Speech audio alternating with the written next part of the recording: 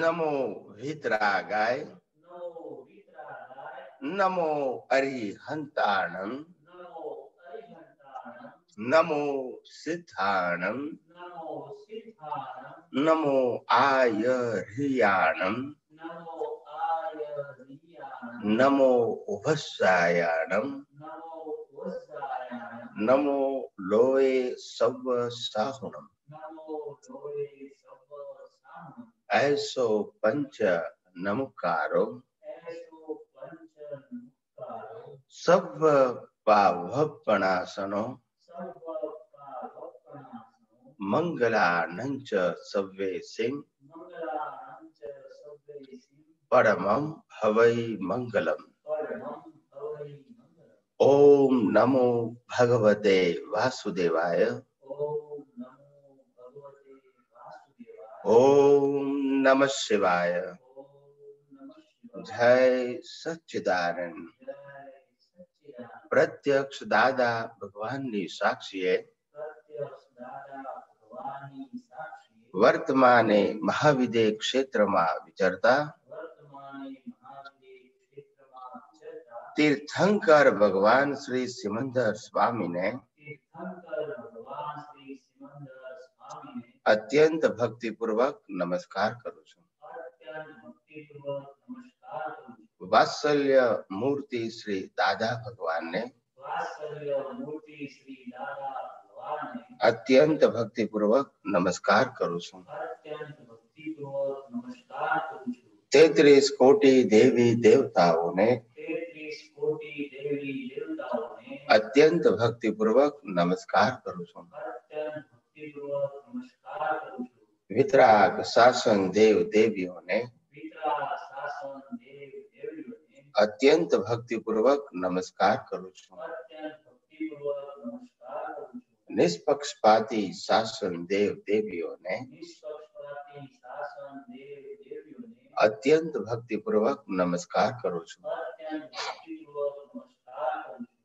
આ ક્ષેત્રના રક્ષક દેવી દેવતાઓને આ ક્ષેત્રના રક્ષક દેવી દેવતાઓને અત્યંત ભક્તિપૂર્વક નમસ્કાર કરું છું. અત્યંત ભક્તિપૂર્વક નમસ્કાર કરું છું આખા બ્રહ્માંડના જીવ માત્રના રિયલ સ્વરૂપને આખા બ્રહ્માંડના જીવ માત્રના રિયલ સ્વરૂપને અત્યંત ભક્તિપૂર્વક નમસ્કાર કરું છું. અત્યંત ભક્તિપૂર્વક નમસ્કાર કરું છું જગત ભરના સંત પુરુષોનું યોગબળ જગતભરના સંત પુરુષોનું યોગબળ જગત ભરના સત પુરુષોનું યોગબળ જગતભરના સંત પુરુષોનું યોગબળ અને પ્રગટ જ્ઞાની પુરુષ દાદા ભગવાનનું યોગબળ અને પ્રગટ જ્ઞાની પુરુષ દાદા ભગવાનનું યોગબળ સમસ્ત વિશ્વનું કલ્યાણ કરો કલ્યાણ કરો કલ્યાણ કરો સમસ્ત વિશ્વનું કલ્યાણ કરો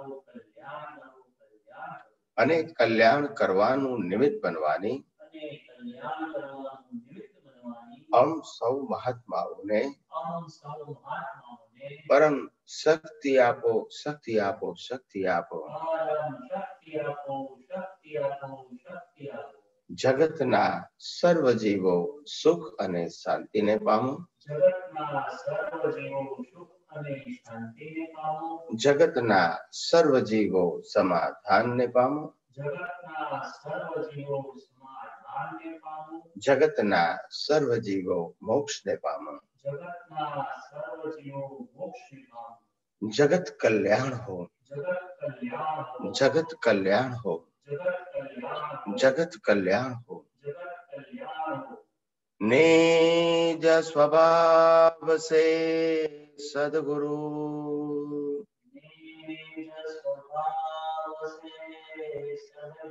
હો હો જગત કલ્યાણ હો નિજ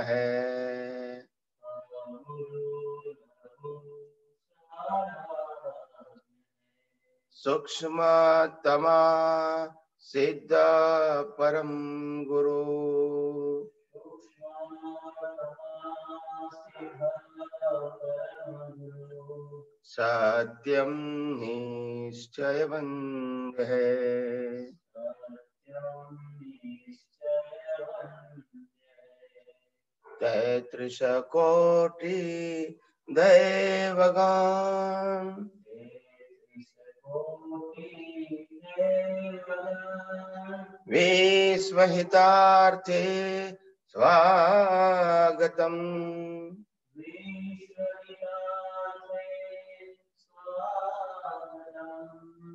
સિદ્ધ પરમ ગુરુ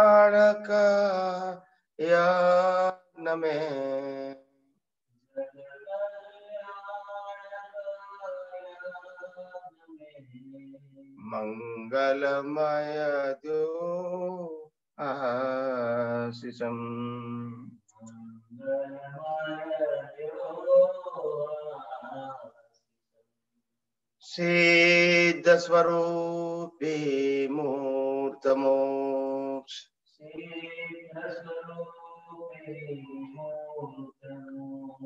ગલતી ભૂલ કો દો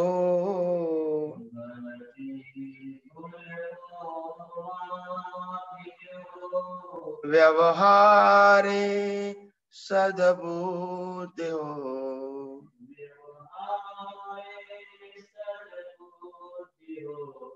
નિશ્ચય में અભિવૃદ્ધિ દો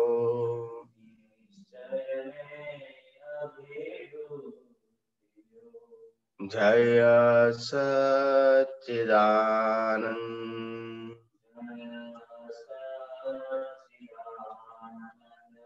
જય સચ્ચિદાનંદ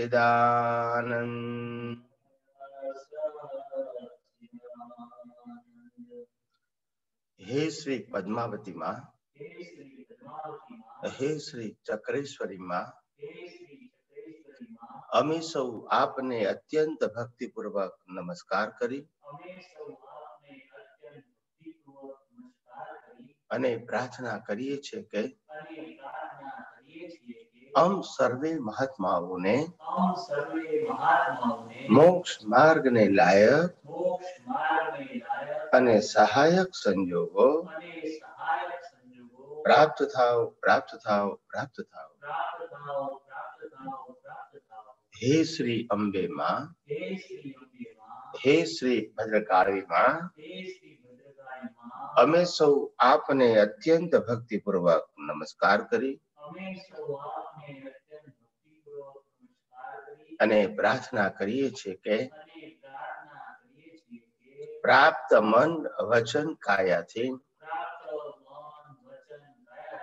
આ જગતના કોઈ પણ જીવને કિંચિત માત્ર પણ દુઃખ ન થાય. તેવી સ્યાદવાદ વાણી, સ્યાદવાદ વર્તન અને સ્યાદવાદ મન કરવાની પરમ શક્તિ આપો. જય સચ્ચિદાનંદ. સર્વે મહાત્માઓને જય સચ્ચિદાનંદ. સ્વામીજી જય સચિદાનંદ બધા જય સચ્ચિદાનંદ. જય સચિદાનંદ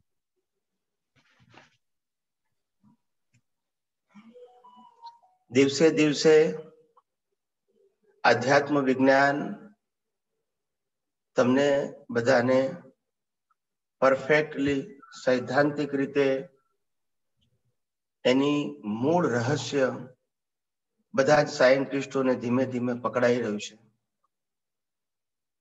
કે આ વિશ્વની અંદર જે આપણે અજ્ઞાન શબ્દ અત્યાર સુધી વાપર્યો હતો, એ અજ્ઞાન શબ્દ સામાજિક અને ધાર્મિક રેફરન્સના આધારે વાપર્યો હતો.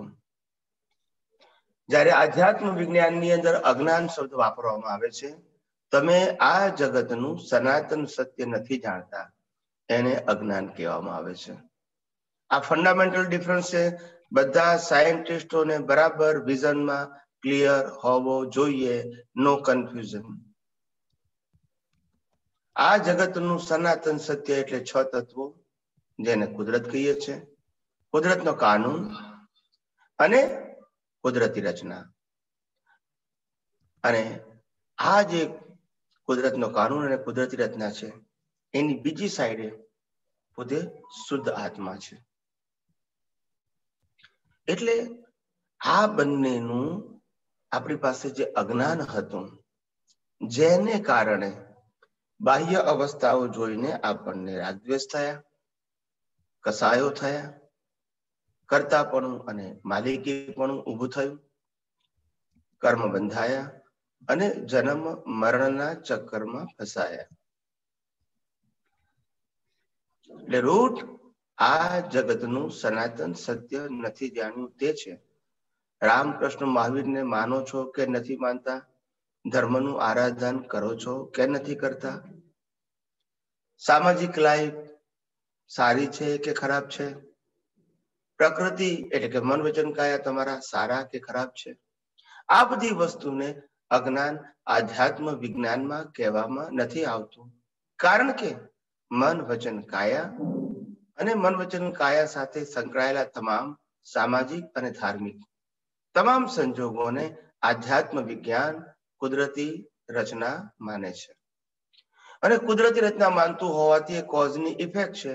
માટે today what you are doing through your mind vision action in a religion or in a social. Both are totally કુદરતી રચના. એટલે એ આપણો સબ્જેક્ટ નથી. આપણો સબ્જેક્ટ એ છે કે આ સામાજિક અને ધાર્મિક સંજોગો જે ઊભા થયા, એની પાછળનું કારણ અજ્ઞાન છે. અને એ અજ્ઞાનનું કારણ છે આ જગતનું સનાતન સત્ય ન જાણવું તે, જેને આપણે આધ્યાત્મ વિજ્ઞાન કહીએ છીએ. સામાજિક, ધાર્મિક અને આધ્યાત્મિક. એ આધ્યાત્મિક વિજ્ઞાન ન સમજવાથી એનું જે અજ્ઞાન છે, એને કારણે સામાજિક અને ધાર્મિક રિલેટિવ સત્ય ઊભું થાય છે અને એની અંદર રાગદ્વેષ ઊભા થવાના કારણો ઊભા થાય છે. જેને કારણે આ જગતની અંદર માલિકી ભાવને, કરતા ભાવ ઉત્પન્ન થાય છે, મોહ ઉત્પન્ન થાય છે સુખ પ્રાપ્ત કરવાની ઈચ્છા ઉત્પન્ન થાય છે. અને જેને કારણે રાગ, દ્વેષ અને કસાયો થાય છે. કર્મ બંધાય છે, જન્મ મરણ થાય છે. આવી રીતે અનાદિકાળથી ચક્ર ચાલ્યા જ કરે છે. ચક્કર ચાલ્યા જ કરે છે. આપણને એવું લાગે કે હું ગુસ્સો કરું છું. હું જૂઠું બોલ્યો, મેં ચોરી કરી, મેં ઝઘડો કર્યો. અને એ અજ્ઞાનથી કર્મ બંધાયા અને એના કારણે મારે કર્મ ભોગવવું પડે છે. તો કુદરત કે છે, એ અજ્ઞાનને અજ્ઞાન નથી કહેવાતું. કારણ કે એ અજ્ઞાન તો તારું મૂળ જે અજ્ઞાન છે, એના કારણે ઊભું થયું છે. તારું જો મૂળ અજ્ઞાન નથી, એટલે કે તું પોતે જો શુદ્ધાત્મા પદમાં સ્થિર રહેતો હોય, અને મનોચન કાયાની અવસ્થા માત્ર, અને પાંચ ઇન્દ્રિયોથી અનુભવાતી સમગ્ર સૃષ્ટિને જો તું કુદરતી રચના તરીકે જોતો હોય, તો તારા મન વચન કાયા શું કરે છે? અથવા તો તારા મન વચન કાયા નો વ્યવહાર? અથવા તો સામેવાળી વ્યક્તિનો તારા મન વચન કાયા સાથેનો વ્યવહાર શું કરે છે? એનું ઇમ્પોર્ટન્ટ આધ્યાત્મ વિજ્ઞાનમાં નથી. કારણ કે આપણે એને કુદરતી રચના કહીએ છીએ. એટલે તમને બરાબર પકડાવવું જોઈએ કે અજ્ઞાન શબ્દ ક્યાં લાગે છે? કોઈ કે હું પૂજા કરું છું એ અજ્ઞાન છે? હું પાપ કરું છું એ અજ્ઞાન છે? હું રામકૃષ્ણ મહાવીર નથી માનતો એ અજ્ઞાન છે? હું મંદિરમાં નથી જતો એ અજ્ઞાન છે? હું કોઈ ધાર્મિક ક્રિયા નથી કરતો એ અજ્ઞાન છે? મને સારો વ્યવહાર કરતા નથી આવડતો, સારી વાણી બોલતા નથી આવડતી, સારું વર્તન કરતા નથી આવડતું, સારા વિચારો કરતા નથી આવડતા. એ અજ્ઞાન છે મારું? કયું અજ્ઞાન છે? તારે તમને ખબર પડવી જોઈએ, આ બધું અજ્ઞાન નથી. આ બધું પ્રાકૃતિક ગુણો છે અને તે કુદરતી રચનામાં જાય. અજ્ઞાન આ જગતનું કુદરત, કુદરતી કાનૂન અને કુદરતી રચનાને નથી સમજતા, નથી જાણતા એ અજ્ઞાન છે. એટલે આ બાબતમાં બધાનું વિઝન ક્લિયર હોવું જોઈએ. ક્યારે પણ કોઈને આ બાબતમાં કન્ફ્યુઝન ઊભા થવા જોઈએ નહીં. કારણ કે શબ્દો તો બધા એક જ સરખા બોલતા હોય. કે આ દુનિયા અજ્ઞાનથી બંધાઈ છે, અજ્ઞાનથી ચાલે છે? વાત તો સાચી છે. પણ અજ્ઞાનનું આઈડેન્ટિફિકેશન શું? અજ્ઞાનની ડેફિનેશન શું? ધેટ ઇઝ મોસ્ટ ઇમ્પોર્ટન્ટ એ અજ્ઞાન શું છે સમજાશે તો જ પછી અજ્ઞાનને નાશ કઈ રીતે કરવું એ તમે શોધી શકશો. પણ તમને જ્યાં સુધી એમ લાગશે કે આ મન વચન કાયાની ક્રિયામાં અજ્ઞાન છે. મન વચન કાયના વ્યવહારોમાં અજ્ઞાન છે.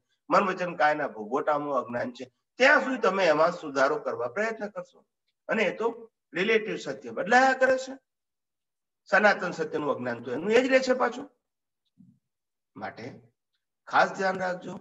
અહીંયા આગળ વિજ્ઞાનની અંદર એક એક વસ્તુ એટલી બધી ક્લિયર કરવામાં આવે છે. Sharply deeply perfectly and exactly અને તમે એઝ અ સાયન્ટિસ્ટ બધા હવે એને દરેક વાતને એક્ઝેક્ટલી પકડવા પ્રયત્ન કરો. હવે તમે બાળક નથી. નાવ દિવસે દિવસે મેચ્યોર થઈ રહ્યા છો. અને મેચ્યોરિટીના આધારે હવે તમને વિજ્ઞાનમાં ધીમે ધીમે રૂટ પકડાવવું જોઈએ. કારણ કે આપણે સાયન્સની વાત કરીએ છીએ અને સાયન્સ પ્રિન્સિપલ ઉપર આધાર છે, શ્રદ્ધા ઉપર આધારિત નથી. એટલે આપણી કોઈ પણ વાત હોય, રજૂઆત કરતી વખતે આપણી દ્રષ્ટિમાં પહેલો સિદ્ધાંત આવવો જોઈએ, પછી એક્ઝામ્પલ આવવું જોઈએ. દુનિયાની કોઈ પણ વ્યક્તિ ગમે તે પ્રશ્ન પૂછે, ગમે તે ટોપિક ઉપર વાત કરવાની આવે. પણ આપણું પ્રેઝન્ટેશનનો પહેલો પ્રિન્સિપલ પછી એક્ઝામ્પલ એટલે તમારી આખી દ્રષ્ટિ ચેન્જ થઈ જશે. જ્યારે તમે સિદ્ધાંત રજૂઆત કરીને રજૂઆત કરશો, કોઈ પણ તમને કહેશે કે ભાઈ તમે આમ નથી કરતા, આમ નથી કરતા, આમ નથી કરતા, તમારો સ્વભાવ આવો છે. તમારા વિચારો આવા છે, તમારી વાણી આવી છે, તમારો વ્યવહાર આવો છે. આવું બધું તમને કહેશે. તો પછી તમે આ વિજ્ઞાનની વાત કરો છો, વિજ્ઞાનનો કઈ રીતે પ્રગટ થશે?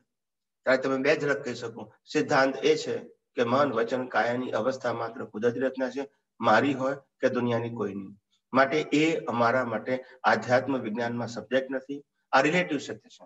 રિલેટિવ સત્યમાં સાચું ખોટું હોઈ શકે, પણ સનાતન સત્યમાં સાચું ખોટું નથી. માટે અમે કુદરતી રચના માનીએ છીએ, એ સનાતન સત્ય છે. અને એ જે કે પ્રકૃતિ ઉકલી રહી છે એને અમે કુદરતી રચના માનતા હોવાથી, સારી છે તો રાગ નહીં, ખોટી છે તો દ્વેષ નહીં, મારી હોય કે બીજા કોઈ તો આ જવાબ થઈ ગયો. એટલે ટ્રાન્ઝેક્શન વાઇઝ તમારે જવાબ આપવો પડે કે હું ગુસ્સે થઈ જઉં છું, હું રાગ કરું છું, હું દ્વેષ કરું છું, હું પૂજા કરું છું, હું નથી કરતો, ઓછી કરું છું, વધારે કરું છું. મારાથી સારું થાય છે, મારાથી નથી થતું. આ મારું છે, આ તારું છે, આ મારા ભગવાન, તમારા ભગવાન, આ મારા ગુરુ, તમારા ગુરુ, આ મારા શાસ્ત્ર, તમારા શાસ્ત્ર. એ બધા સબ્જેક્ટો ઓટોમેટિક ઉડી જાય છે. એ આપણા આધ્યાત્મ વિજ્ઞાનમાં ડિસ્કશનનો સબ્જેક્ટ રહેતો નથી. ધ વે યુ પ્રેઝન્ટ એ બહુ જ ઇમ્પોર્ટન્ટ છે. અને પ્રેઝન્ટ તમે પરફેક્ટલી ત્યારે કરી શકશો. તમારું વિઝન એકદમ શાર્પ એન્ડ ક્લિયર દુનિયાનો કોઈ પણ વ્યક્તિ તમારી સાથે વાત કરે, પણ તમારું વિઝન એકદમ પ્રિન્સિપલ ઉપર આધારિત હોય, કોઈ વ્યક્તિ તમારી સાથે ચેલેન્જ ના કરી શકે. એક્સેપ્ટ ના કરે જુદી વસ્તુ છે. પણ ચેલેન્જ ના કરી શકે. કારણ કે એની કોઈ પણ વાત હોય રિલેટિવ સત્ય ઉપર આધારિત હોય, આપણી કોઈ પણ વાત હોય, સનાતન સત્યના સિદ્ધાંત ઉપર આધારિત હોવી જોઈએ. તો આવો આપણે સૌ આ આધ્યાત્મ વિજ્ઞાનને જેમ છે તેમ યથાર્થ રીતે સમજવા પ્રયત્ન કરીએ. રવિવારનો આજે દિવસ છે. આપ સૌ બધા આનંદમાં હશો. બધાનું સ્વાસ્થ્ય સારું હશે. અને આપણે ખૂબ ખૂબ આધ્યાત્મિક વિજ્ઞાનમાં આગળ આગળ વધવા માટેના જે કંઈ પ્રયાસો કરી રહ્યા છે આપણે, એમાં ખૂબ ખૂબ તમે બધા પ્રગતિ કરો. તમારી અંદર એવું અદ્ભુત વિજ્ઞાન અનુભવ રૂપે પ્રગટ થાય. તમને બધાને અનુભવમાં આવે કે વિજ્ઞાનની જ્યોતથી કર્યું લાગતું નથી હજુ.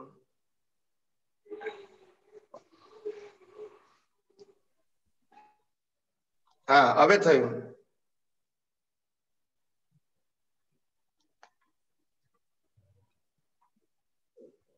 પાછું થઈ ગયું પાછું મ્યુટ થઈ ગયું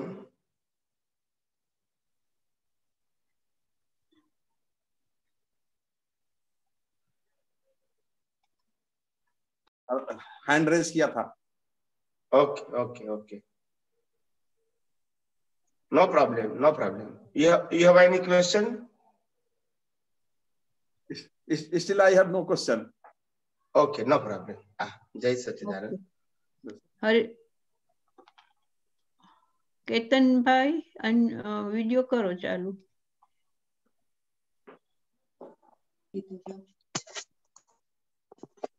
જય સચિદાનંદ સ્વામીજી. જય સચિદાનંદ. સ્વામીજી એક ક્વેશ્ચન હતો. આપણે દાદાનું આપ સૂત્ર છે. Yes two zero nine one એમાં એવું લખ્યું છે કે તમે કોઈને ટડકાવો તે તો પ્રકૃતિ છે તેનો વાંધો નથી. પણ તેનું જો તમે પ્રતિક્રમણ કર્યું તો તે પોઝિટિવ ગુનો છે. ને પ્રતિક્રમણ ના કર્યું તો તે નેગેટિવ ગુનો છે. એનો શું મિનિંગ થાય એક્ઝેક્ટ એટલે પ્રતિક્રમણ કરવું અને પ્રતિક્રમણ ના કરવું એ બંને વાતો રિલેટિવ સત્ય છે. રિલેટિવ સત્ય. અજ્ઞાની માણસ પુરુષાર્થ રૂપે જ્યારે પ્રતિક્રમણ કરે તો એને એનું પોઝિટિવ ફળ મળે એટલે કર્મનો ભોગવટો ના આવે. અને અજ્ઞાની માણસ પ્રતિક્રમણ ના કરે અને કરતા ભાવે કર્મ બધ્યું હોય તો એનો ભોગવટો નેક્સ્ટ બર્થમાં આવશે. પણ આપણે તો આધ્યાત્મ વિજ્ઞાનમાં મન વચન કાયા માત્ર કુદરતી રચના અવસ્થા માત્ર કુદરતી રચના છે.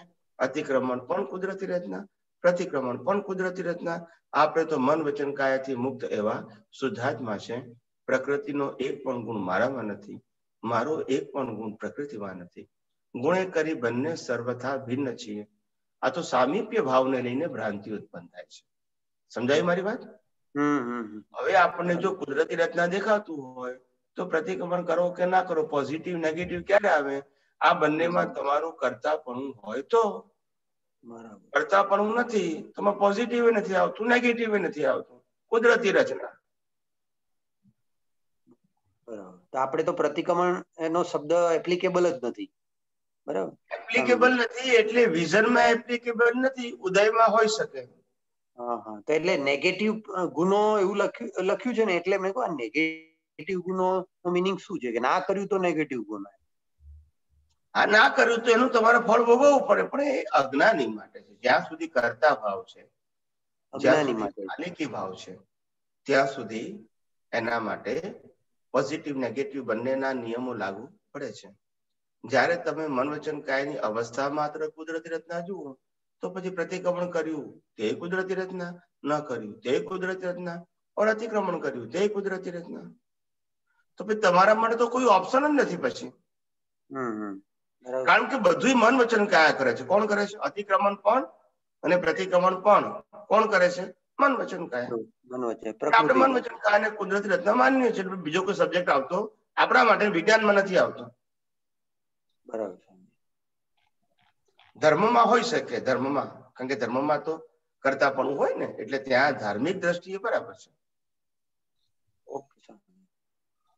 સ્વામીજી બીજું જાત્રા જે હોય છે જાત્રા જે કરે છે બધા તો એમાં જાત્રામાં કઈ ટાઈપનું પુણ્ય બંધાય છે? ધાર્મિક પુણ્ય બંધાય. ધાર્મિક પુણ્ય. એને આધ્યાત્મ સાથે લેવા દેવા નથી. ધાર્મિક પુણ્ય તો બંધાય કરતા ભાવે કરે તો. આપણા માટે તો આ જીવન એ જ એક યાત્રા છે. અને એ જીવનની યાત્રા જે ચાલી રહી છે એની અંદર આપણને પ્રત્યેક અવસ્થા જો કુદરતી રચના દેખાય તો એ જ આપણા માટે મોક્ષની યાત્રા બની શકે એમ છે. બરાબર અને કરતા પણ માલિકી પણ ઉત્પન્ન થાય તો પછી આપણા જન્મ મરણના ચક્કર ચાલુ રહે છે. સમજાય મારી વાત? હા હા. જય સચિદાનંદ સ્વામી તમારી દીકરીને કેમ તૈયારી છે અત્યારે? હે? તમારી ડોટર ને કેવી તૈયારી છે? જય સચિદાનંદ જય સચિદાનંદ. જય સચિદાનંદ જય સચિદાનંદ. જય સચિદાનંદ હવે સ્વામીજી થોડો પ્રશ્ન એવું છે કે આપણે પ્રકૃતિથી આપણે અલગ રહેવાની જયારે પુરુષાર્થ કરતા હોય પ્રતિષ્ઠિત આત્મા ત્યારે ઈ અલગ રહેતો હોય ત્યારે એની પાસે આપણે કયો પુરુષાર્થ કરાવો કે જે આપણે મોક્ષ માર્ગ માટે લાયક સાયક પ્રકૃતિ તો એનું કામ કરે છે આપણે એનાથી અલગ છે એના કામમાં જેને પ્રતિષ્ઠા થઈ જાય છે જ્યારે નવરો થઈ જાય છે એની પ્રકૃતિ સાથે કઈ લેવા દેવા છે નહીં. તો એની પાસે આપણે કયો પુરુષાર્થ કરાવો કે જે આપણને મોક્ષ માર્ગ માટે લાયક સહાયક બને? હા એટલે એટલે પ્રકૃતિ માટે જે પુરુષાર્થ કરવાનો છે એ મોક્ષ માર્ગ માટે લાયક અને સહાયક કયો કહેવાય? આપણે તો ભાવ જ છે સાહેબ. આપણો બીજો કોઈ પુરુષાર્થ હોતો જ નથી. કારણ કે પ્રકૃતિની કોઈ પણ ક્રિયાને આપણે પુરુષાર્થ માનતા નથી મનાવડાવતા નથી કારણ કે કુદરતી રચના છે. આપણે તો કુદરતી રચના અને કુદરતી રચના જોવું એ જ પુરુષાર્થ છે. પ્લસ જો ભાવ પુરુષાર્થ કરવો હોય તો એ કેવું કે હે પરમાત્મા મને મોક્ષ માર્ગ માટે લાયક અને સહાયક સંજોગો પ્રાપ્ત થાવ. હવે આપણે એમ કે આ ભાવ કરીએ છીએ પણ પુણ્ય જોઈએ તો શું કરવાનું? તો તમે આખા જગતને અકર્તા જુઓ છો માટે નિર્દોષ જુઓ છો. માલિકી ભાવને માલિકી ભાવથી તમે કોઈ પણ અવસ્થાને માલિકી ભાવથી પણ તમે મુક્ત રીતે જુઓ છો. કોઈ પણ અવસ્થાને કુદરતી રચના જુઓ છો. કોઈ પણ વ્યક્તિમાં તમે શુદ્ધાત્મા જુઓ છો. આ જ તમારું મોક્ષ માર્ગ માટે લાયક અને સહાયક સંજોગોનું પુણ્ય. એનાથી તમને સંજોગો મળશે. બરાબર. બરાબર. સમજાય છે? અને હા હા. અને સ્વામીજી આપણે એવું કરી શકીએ કે સર્વ જીવ સુખ ને પામ આપણે જે પ્રાર્થના કરીએ છીએ તો એ આપણે આપણા આપણા પુરુષાર્થમાં રાખીએ કે ભાઈ સર્વ જીવ સુખ ને પામે શાંતિ ને પામે ને મોક્ષ ને પામે. એવું આપણે ભાવ નવરા હોય ત્યારે બેસા બેસે કરી શકીએ એવું? ત્યારે કાંઈ અવસ્થા હોતી નથી. સર્વ જીવ સુખને પામે શાંતિને પામે અને અંતે એ પામે. એ તો સારો ભાવ છે. મુક્તિને એટલે જ્યારે આપણે એ તો એ તો બરાબર છે. એ ભાવ કરવાનો તો બરાબર છે. પણ આપણે. શુદ્ધાત્મા પદમાં રહી અને મોક્ષ માર્ગ માટે લાયક અને સહાયક ભાવ કરીએ એ આપણા માટે સારો ભાવ છે. આ શુભ ભાવ કહેવાય. શું કહેવાય? આ શુભ ભાવ. શુદ્ધ ભાવ ના કહેવાય શુભ ભાવ કહેવાય. શુભ શુભ ભાવ શુભ ભાવ. હા એટલે બરોબર છે. એટલે એ તો આપણે છેલ્લે કરીએ જ છીએ કે ભાઈ મોક્ષ માર્ગ માટે લાયક અને સહાયક સંજોગ પ્રાપ્ત એ જ આપણા માટે ઇમ્પોર્ટન્ટ છે. બાકી બધું ઇમ્પોર્ટન્ટ એટલા માટે નથી કે અનંત અવતારથી આપણે આ જ કર્યું છે. આપણામાં મન સુધારવા માટે પ્રયત્ન કર્યો. બીજાના મન વચ્ચે સુધારવા પ્રયત્ન કર્યો આપણી પ્રકૃતિને સુધારવા પ્રયત્ન કર્યો, બીજાની પ્રકૃતિને સુધારવા પ્રયત્ન કર્યો- આપણી પ્રકૃતિને સામાજિક બનાવી બીજાની પ્રકૃતિને સામાજિક બનાવવા પ્રયત્ન કર્યો, આપણી પ્રકૃતિને ધાર્મિક બનાવી બીજાની પ્રકૃતિને ધાર્મિક બનાવવા પ્રયત્ન કર્યો, આપણી પ્રકૃતિને માનવતાવાદી બનાવી બીજાની પ્રકૃતિને માનવતાવાદી બનાવવાનો પ્રયત્ન કર્યો. આવા જ ધંધા અત્યાર સુધી કર્યા છે એ જન્મ મરણ માટે છે.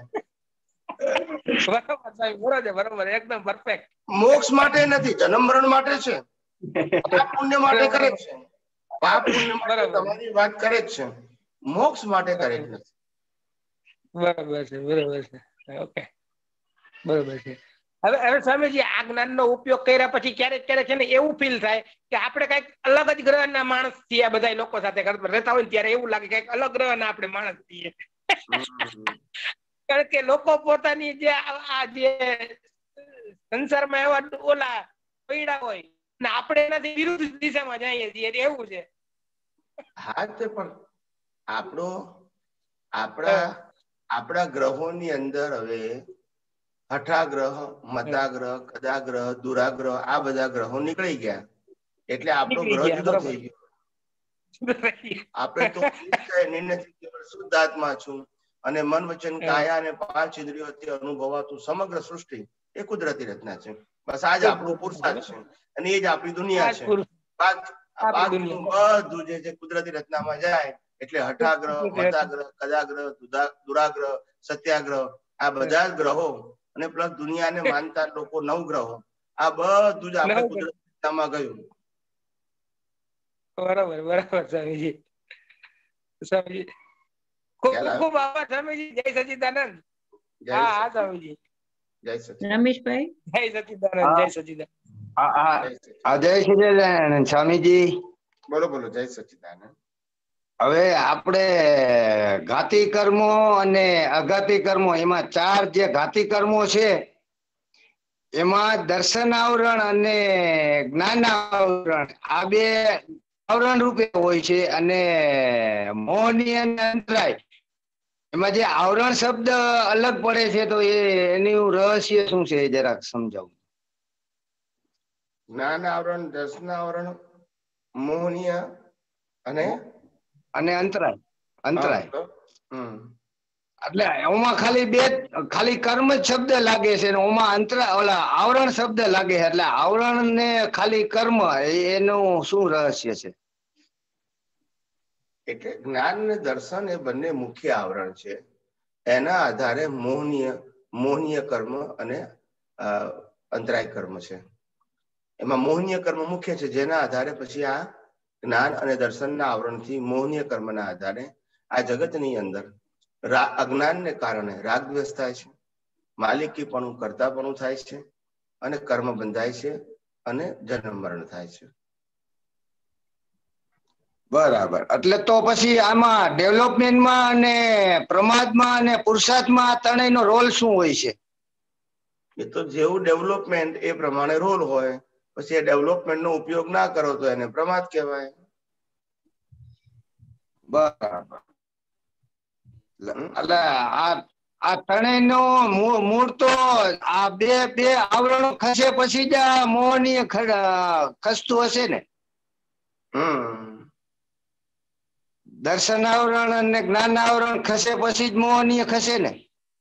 હા એટલે દર્શન આવરણ અને જ્ઞાન આવરણ ખસે પછી જ મોહનીય આવે.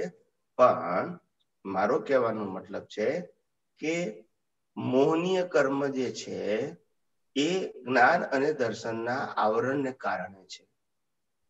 બરાબર.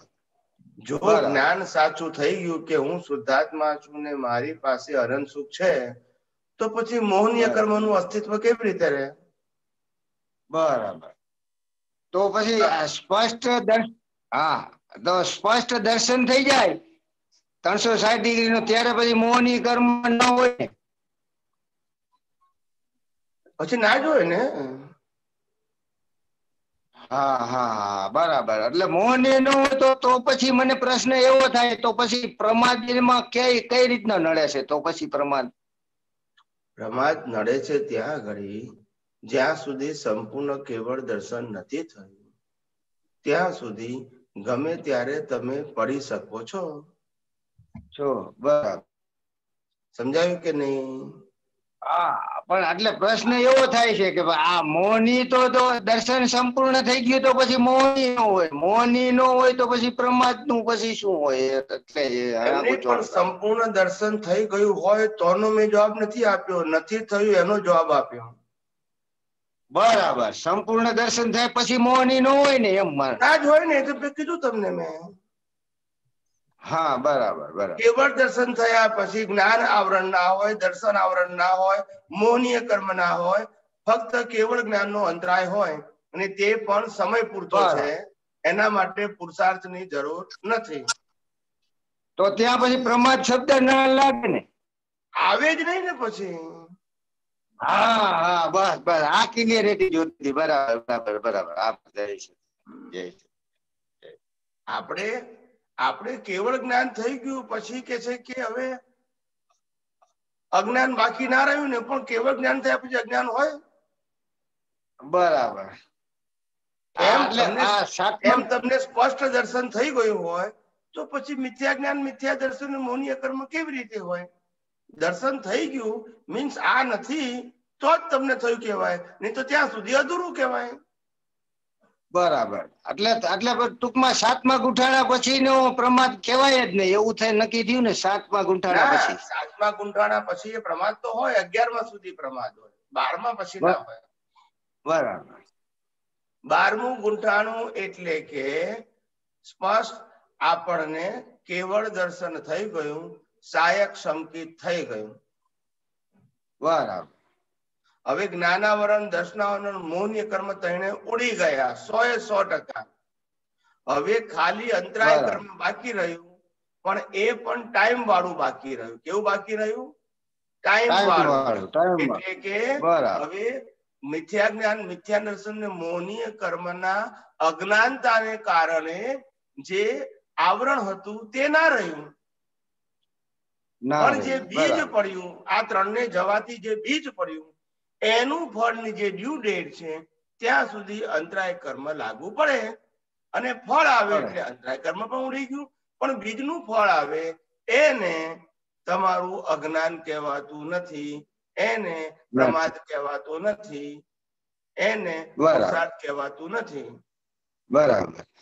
ટૂંકમાં અંતરાય કર્મમાં કોઈ જાતનો પુરુષાર્થ કરવાનો નથી. અંતરાય કર્મ દૂર કરવામાં કોઈ જાતનો પુરુષાર્થ નથી. ના.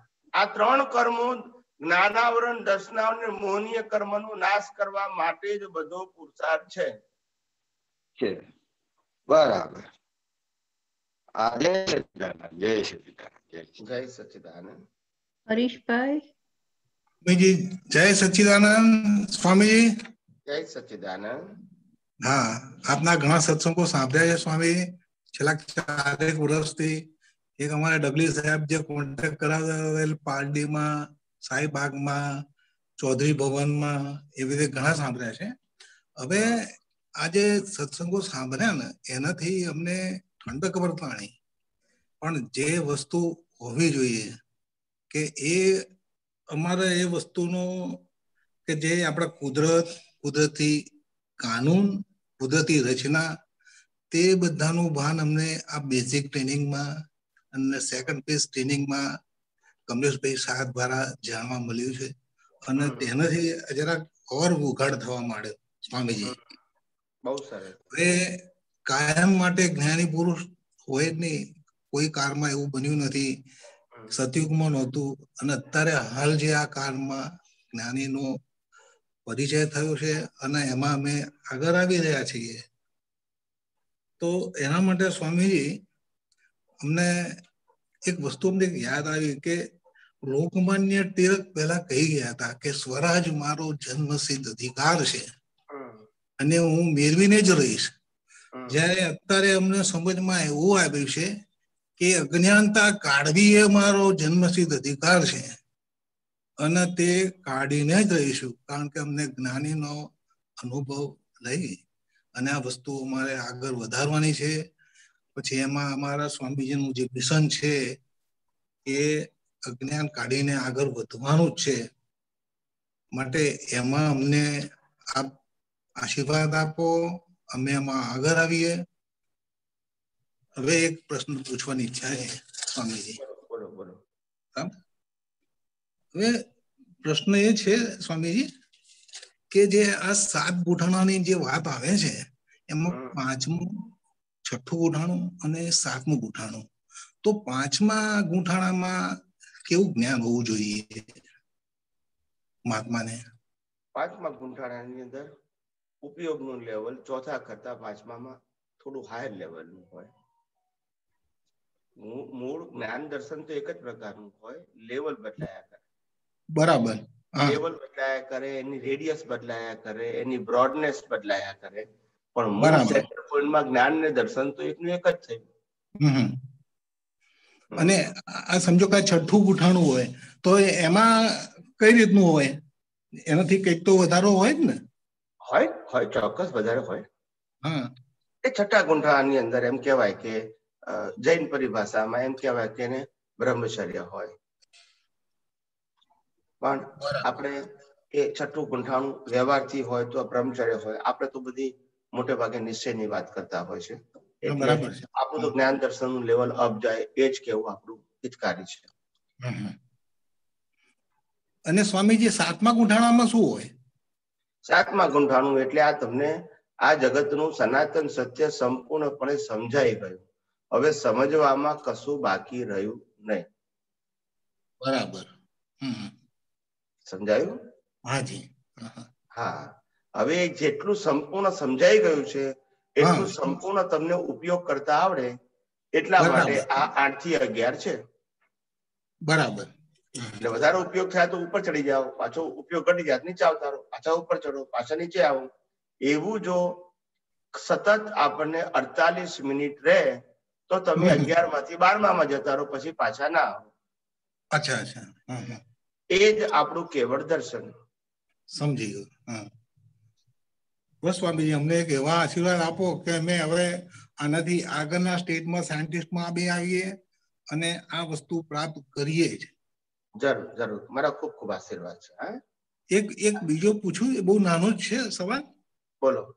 પણ એ આ પ્રકૃતિ શિષ્ય અને આત્મા ગુરુ તેની થોડીક સમજ આપો ને સ્વામીજી.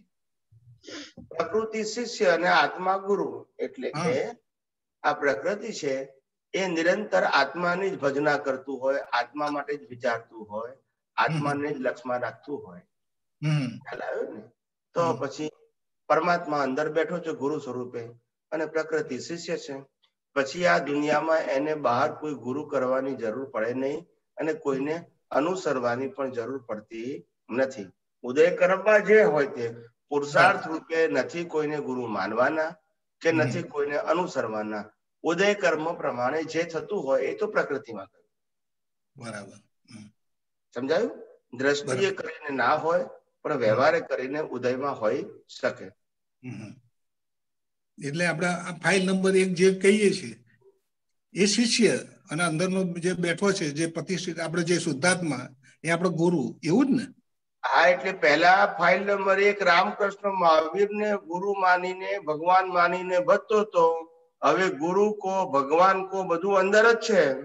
બરાબર છે. કારણ કે આ દુનિયાની અંદર તમારા શુદ્ધાત્માથી મોટો આ બ્રહ્માંડમાં કોઈની પણ શક્તિ પ્રાકૃતિક રૂપે હોઈ શકે નહીં. પછી રામકૃષ્ણ મહાવીર હોય તો પણ ના હોય. પ્રાકૃતિક શક્તિ એટલે વિનાશી અને પરમાત્માની શક્તિ એટલે અવિનાશી. માટે તમારો પરમાત્મા છે એને ગુરુ એટલા માટે કીધું કારણ કે એનાથી મોટો શક્તિશાળી આ દુનિયામાં કોઈ મન વચન કાયા વાળો છે જ નહીં તો પછી. બરાબર? હા. તો પછી પ્રશ્ન ક્યાં આવ્યો? આ સવાલ જ નથી આ તમે જે આ તમારું જે મિશન છે એ ખરેખર બહુ ઉપયોગી થઈ જશે અત્યારે કોઈને ખ્યાલ નથી આવતો સ્વામીજી. પણ ભવિષ્યના ક્ષેત્રમાં આની જ બોલબાલા રહેશે એવું મને લાગે છે સ્વામીજી. અને આપણું મિશન એકદમ કાયમ રહે. અને એમાં અમે આમાં સહભાગી થઈએ એવી અમે આશા રાખીએ છીએ સ્વામી. લોકોને આ વિજ્ઞાન પહોંચતું કરો વોટ્સઅપ દ્વારા કે બીજી રીતે દ્વારા કે સમજાવીને પહોંચતું કરો. જેટલા સમજે એટલા સાચા ના સમજે એટલા કઈ નહીં પણ આપણે પહોંચતું કરો લોકો બરાબર છે હા. આપણું કામ શું છે? જેમ વોટ્સઅપમાં બીજી બધી વસ્તુ મૂકવામાં આવે છે એમ આપણે સત્સંગ મૂક્યા કરો મૂક્યા કરો મૂક્યા કરો. સાંભળવા હોય તો સાંભળે ના સાંભળવા હોય તો ના સાંભળે. આપણે પણ એવું જ કરીએ છીએ ને. બરાબર છે પણ મૂકવું એ તો ગુનો નથી ને. સવાલ જ નથી. બસ. હા મેં કોઈ જાતનો સવાલ નથી. અત્યારે તો આ- જ્ઞાની મળવા એ જ મોટી વસ્તુ છે સ્વામીજી. હવે એ જ કોઈને જે લોકો હિન્દુસ્તાનની અંદર અનુભવી જ્ઞાની પુરુષનો પ્રત્યક્ષ જીવતા ભેટો થવો એ જ દુર્લભ દુર્લભ દુર્લભ છે. અને એ જ અતિ અતિ અતિ વિશિષ્ટ પ્રકારનું પુણ્ય હોય તો આ ભેગું થાય અને સમજાય. તદ્દન સાચી વાત છે. સમજાઈ શકાય એવું જ નથી. કારણ કે આ ચોપડીની ભાષા નથી ને ચોપડીની ભાષા નથી. સાચી વાત છે સ્વામીજી. અમે આપના પરિચયમાં તો છેલ્લા ચારેક વર્ષથી હતા જ પણ આ જે આ વસ્તુ હાથમાં આવી ગઈ જે આપણે કમલેશભાઈ શાહના અંડરમાં જે અમને જે બે વસ્તુના ફોડ પડ્યા બહુ સરસ બહુ સરસ. તો એમાં ઘણો જ ફાયદો થયો છે સ્વામીજી. અને જો પણ આગળ ફાયદો થાય એવી ઈચ્છા રાખીએ છીએ. બરાબર છે બરાબર છે. બસ એવા આશીર્વાદ આપો સ્વામીજી. બસ મારા ખૂબ ખૂબ આશીર્વાદ છે આપ પણ આપણા ધ્યેયમાં સફળ થાઓ એવા મારા શુભ આશીષ છે હમ? જય સચ્ચિદાનંદ જય સ્વામી સચ્ચિદાનંદ જય સચ્ચિદાનંદ આશીષભાઈ जय सच्चिदानंद स्वामी जी હા मैं જય सुरेंद्र સચ્ચિદાનંદ लोढ़ा अ, सुरेंद्र लोढ़ा हिंदी में औरंगाबाद से बोल रहा हूँ अ, मेरी लड़की एक सत्रह अक्टूबर को चांद हो गई स्वामी जी सत्ताईस साल की थी वो अनमेरिड थी अच्छा तो मेरे मिस- फ़ाइल को मेरे फ़ाइल नंबर टू को मेरे को बहुत भोगोटा हो रहा है। फ़ाइल नंबर टू को बहुत ज़्यादा भोगोटा हो रहा है। तो थोड़ा सा वो उसकी याद आती है ये इलाज करते तो अच्छा रहता था। अपन ने थोड़ी सी केयरलेस नहीं करे या उसके हर चीज़ घर में है तो खाना पीना बहुत भोगोटा आ रहा है नहीं मैं समझ गया मैं समझ गया। आ, मैं उत्तर तो दे मैं, मैं उत्तर तो दे रहा हूँ आपको कि पहली बात तो ये है कि जितना जितना जिन व्यक्तियों के साथ हमारा हिसाब होगा वहाँ तक ही वो हमारे साथ रहेंगे या तो मिलेंगे। कई लोग आपके जीवन में भी ऐसे आए जो आपको ज़िंदगी में एक बार दो बार या तीन बार मिले हैं बाद में लाइफ में ज़िंदगी भर तक नहीं मिलते और न हम इसके लिए कभी रोते हैं। एम आई राइट और रॉन्ग राइट कई सारे ऐसे होते हैं जैसे आप ट्रैवलिंग करते हैं by road by bus by plane by train और अननोन पर्सन आपको मिल जाती है और उनके साथ बातचीत करते हैं तो लगता है कि ये मेरे पहचान वाले व्यक्ति है और दोनों को इंटरेस्ट आता है। मगर बाद में ज़िंदगी भर हम नहीं मिलते हैं और न कभी हँसते हैं, न कभी रोते हैं, बस वही हमारा हिसाब खत्म हो गया। ऐसे इस, इसका भी ये हिसाब खत्म हो गया, ये मानना ही पड़ेगा। और कोई बेस्ट रास्ता नहीं है और नहीं मानते हैं, वो हमारी मानसिक कमज़ोरी है। मैं ये नहीं कहता हूँ कि आपको याद क्यों नहीं आता याद को नहीं, याद नहीं आना चाहिए। याद तो आएगा। जहाँ तक हमारा फिजिकली रुआनुबंध खत्म हो गया और मानसिक रुआनुबंध अभी बाकी है तो याद अपने आप आएँगे। मगर हमारा विजन क्लियर होना चाहिए कि अभी जो भी याद आ रहा है वो केवल पास्ट है यानी भूतकाल है। इसको याद करने से आज कोई पुरुषार्थ रूपी कोई बेनिफिट नहीं है। तो बेटर इनको बाईपास करते रहो बस। याद आए चला जाए। याद आए चला जाए। खत्म हो गई बात। इसमें और ज़्यादा डीप में जानने की सोचने की समझने की टिका टिप्पणी करने की कोई आवश्यकता नहीं है। और यही आपको मुक्ति का साधन है। यही आपको आगे आगे ले जाने के लिए सहायक बनेगा। आ, समझ में हाँ आया आया आया। बस ये पोस्टमार्टम बहुत हो रहा है फ़ाइल दो से सब बातों का बार बार वही वही हो रहा है दोहरा रहे हैं वही। वो छोड़ दो नहीं क्योंकि एक एक बात सिंपल है आपने जो कहा एज अ ह्यूमन हमको फीलिंग होती है मैं उन बात को स्वीकार करता हूँ। मगर वास्तविकता तो ये है कि जब खत्म हो गया है एंड हो चुका है इनका अस्तित्व भी नहीं रहा है फिर उसके बारे में कोई भी टीका टिप्पणी करोगे या सोचोगे? कोई बेनिफिट तो है नहीं ना उनको है ना आपको है। उल्टा लॉस है आपको। ये सोचने से उनको तो कोई बेनिफिट नहीं है और आप भी कुछ नहीं कर कर सकते। तो अपनी एनर्जी को, अपनी शक्ति को वेस्ट करने से या गवाने से क्या फ़ायदा है? हाँ जहाँ तक कोई भी व्यक्ति ज़िंदा होती है तो हमारी फ़र्ज़ होती है कि जो भी प्रयास करना चाहिए, हमारी क्षमता के मुताबिक वो हमको करना चाहिए। खत्म हो गई बात। फिर हमने किया, नहीं किया कर सके न कर सके। मगर लास्ट में क्या हुआ? तो कि रिज़ल्ट ये आया। तो अभी रिज़ल्ट आ गया है तो फिर उसमें कोई कंप्लेन क्वेश्चन करने की ज़रूरत नहीं है। Accept as it is without complain in question भी राम को वनवास जाना पड़ा तो जाना पड़ा। भाई कई कई ने वरदान मांगा था। आप समझे ना? हाँ। तो कहने का मतलब ये स्टोरी सुनने से क्या फ़ायदा? I have to go means go that's it मेरे कर्म में ही लिखा है, क्या करोगे? भाई कृष्ण भगवान का जन्म जेल में हुआ। उनका माता पिता जेल में था। अभी कृष्ण भगवान सोचेंगे, भाई मेरा जन्म जेल में क्यों हुआ? मेरी क्या गलती थी? मेरे माता पिता की क्या गलती थी? ये सोचने से क्या फ़ायदा? क्या फ़ायदा बताइए? उसमें कोई चेंज होगा? तो फिर सोचने से क्या फ़ायदा? जो चीज़ हैपन हो गई है इट हैपन मतलब हो गई है अभी उसमें क्या कर सकते हैं।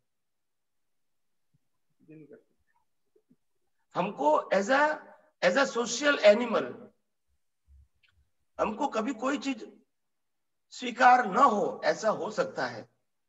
अवर इन अवर सोशल लाइफ मैं मानता हूँ मगर विज्ञान से तो हमको स्वीकार करना ही पड़ेगा कि यही हमारे कर्मों का हिसाब था, उनके साथ।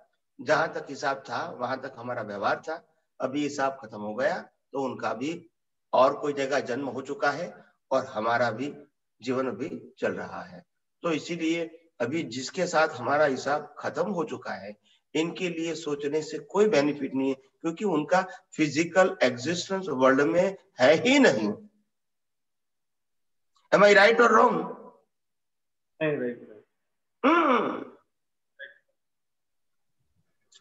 आप क्या करते हैं? मैं औरंगाबाद में रहता हूँ मैं है। और जो भी लोग मोक्ष में गए पहले और भविष्य में भी जाएँगे ये सबको ये कुदरती कानून का विज्ञान समझना ही पड़ेगा। इसके बिना अज्ञान खत्म करना संभव नहीं है किसी से भी। ये ये ये धर्म- मैं बहुत ये हुआ। तो ये धर्म संप्रदाय की कोई बात नहीं है या कोई व्यक्ति विशेष की बात नहीं है? हाँ? Okay okay. सच्चिदानंद। आशीर्वाद दो। बस मेरा आशीर्वाद है। खूब खूब प्रगति करो आप। आशीर्वाद दो। मोक्ष मार्ग में आगे बढ़े इसलिए। बिटिया को भी आशीर्वाद दो। मेरा खूब खूब आशीर्वाद है। और धीरे धीरे आप ये मानसिक मानसिक कंफ्यूजन से भी आप बाहर निकल जाओ। और आपके जीवन में प्रगति के रास्ते पर खूब आगे बढ़ो। यही मेरी शुभकामना है। हाँ। जय सच्चिदानंद। राजू भाई बोलो। जय सच्चिदानंद प्रभु। जय सच्चिदानंद। प्रभु आपने डिस्कशन करिए मार्ग ऊपर छे जेमा અજ્ઞાનતાના સ્ટોક જે ભરાઈ ગયા એ રોંગ બિલીફ કાઢવાની આપણે કોશિશ કરીએ છીએ, એની જગ્યાએ રાઈટ બિલીફ મૂકવાની કોશિશ કરીએ છીએ. તો આ રોંગ બિલીફ શું મેકેનિઝમ છે કે આટલો બધો ભાર આપે છે કે કેવી રીતે કન્વર્ટ કરે છે? ને જ્યારે રાઈટ બિલીફ મૂકે છે, કુદરતી રચના જોઈ પરમ વિનયમાં રહીને જોઈએ છે. તો સંભાવે બિયા પડ્યા વગર સંભાવે ચૂકતે થાય છે. તો આ મેકેનિઝમ શું છે? એની પાછળ પરમાણુ શું કામ કરે છે?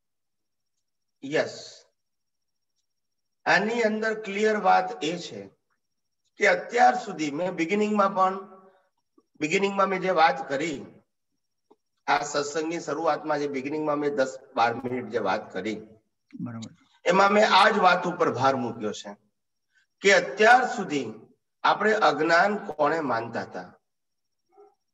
ક્યાં તો સામાજિક ક્રિયાને સામાજિક વ્યવહારમાં અજ્ઞાન છે એવું માનતા હતા.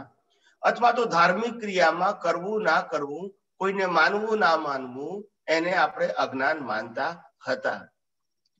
આધ્યાત્મિક માર્ગમાં અજ્ઞાન એટલે સામાજિક અને ધાર્મિક અથવા શુભ અને અશુભ એ સબ્જેક્ટ અજ્ઞાનના સંદર્ભમાં આવતો નથી. આધ્યાત્મિક વિજ્ઞાનમાં અજ્ઞાન એટલે શું?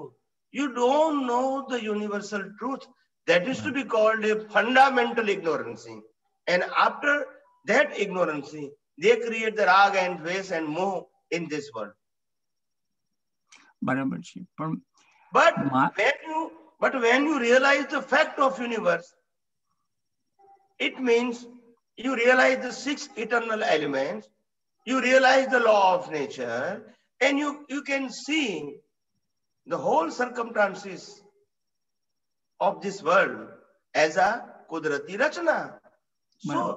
so now you don't require any kind of special process to remove your ignorance with the help of all these three things you can very easily remove all kind of your ignorance from beginning to end up Hmm. to keval darshan I understand that point કે કુદરતી રચનામાં જે તમે જે સમજાવ્યું છ તત્વ સમજાવ્યા એ પણ હવે ગોઠવણમાં બેસી ગયું છે very good પણ આઈ ફીલ મેન્ટેન કે જે આ બિલીફ છે જે સમજણ છે એનો જે સમજણ સાચી કે ખોટી ઈ યંત્ર ચલાવે છે એ પરમાણુને શુદ્ધ અશુદ્ધ કરે છે. જ્યારે આપણે પરમ વિનયમાં નથી રહેતા. ત્યારે પરમાણુ પછી એ પ્રોસેસ ફિઝિકલ પ્રોસેસ થાય છે એની વાત ચાલે છે. પરમાણુ અશુદ્ધમાંથી શુદ્ધ થાય શુદ્ધમાંથી અશુદ્ધ થાય એ બેઝિક ફંડામેન્ટલ ઇક્વિલિબ્રમ થવા માટે પ્રોસેસ થઈ રહ્યો છે. એના માટે અજ્ઞાનતા જે છે એને આપણે આપણે જ્યારે કહીએ કે તું શુદ્ધ આત્મા છે ખુરશી ઉપર બેસાડી દે છે એટલે બિલીફ બદલાય છે એ મેકેનિઝમ બદલાય છે એ સંચો થિંકિંગનો સમજણનો બદલાય છે એ. સમજણથી પછી જે આપણે કુદરતી રચનાને સ્વીકારી અને પરમ વિનયમાં છૂટા રહીને જ્યારે સંભાવે આ તો પ્રકૃતિનો હિસાબ ચૂકતે થયેલો છે મારો નથી અને એના કરીને કરે છે. તો એ જે મેકેનિઝમ ચાલી રહી છે એ પરમાણુ લેવલે ચાલી રહી છે કે દ્રષ્ટિ લેવલે દ્રષ્ટિ લેવલે પણ દ્રષ્ટિમાં તો પરમાણુ કામ કરે છે. ના. દ્રષ્ટિમાં પરમાણુ નથી કામ કરતા દ્રષ્ટિમાં બિલીફ કામ કરે છે તમારું જ્ઞાન દર્શન કામ કરે છે. હા પણ બિલીફ જે છે બદલાવ જે કરે છે પછી પરમાણુ શુદ્ધ અશુદ્ધ થઈ રહ્યા છે. મને એ રીતે લાગે છે કે જે પરમાણુ જે અશુદ્ધ છે એ શુદ્ધ થવાની કોશિશની ક્રિયા જે છે આપણે કરી રહ્યા છીએ. એને આપણે દ્રષ્ટિ રૂપે જે ગોઠવીએ છીએ એ મને ફીલ થાય છે. રાઈટ ઓર રોંગ ના તમને ફીલ થાય છે as per your vision as per your જ્ઞાન દર્શન. હા but because I feel and very strongly કે આ લેવડ દેવડ પરમાણુથી થાય છે. દ્રષ્ટિ થાય છે બિલીફ હા belief I just explain I just explain you આપણે એક પિક્ચર આપણે મૂક્યું એક પિક્ચર કે ભાઈ કોઈ સ્ત્રી છે એ નૃત્ય કરી રહી છે. બરાબર. બરાબર છે? એનું એનું એક્સપ્રેશન કહો એના ડ્રેસીસ કહો એના કલર્સ કહો એવું એક પિક્ચર કોમન છે. બરાબર છે. અને એ પિક્ચરની સામે આપણે ટેન પીપલને બેસાડી દીધા.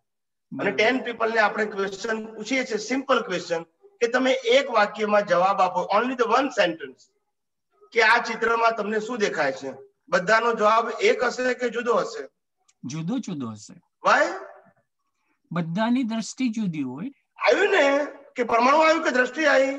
આ પણ દ્રષ્ટિ કારણ તમે જે પોઈન્ટ કીધો ધેટ ઇઝ વેરી ટ્રુ પણ દ્રષ્ટિ જે આવી જ્યાં દ્રષ્ટિ ઉત્પન્ન થઈ, તમારો પોઈન્ટ છે એ રાઈટ છે.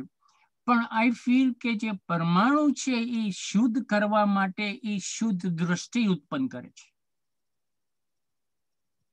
પરમાણુને શુદ્ધ કરવાના નથી, દ્રષ્ટિને શુદ્ધ કરવાનું છે. દ્રષ્ટિ અશુદ્ધ છે, દ્રષ્ટિમાં અજ્ઞાન છે એટલે પરમાણુ અશુદ્ધ કોટેડ થાય છે.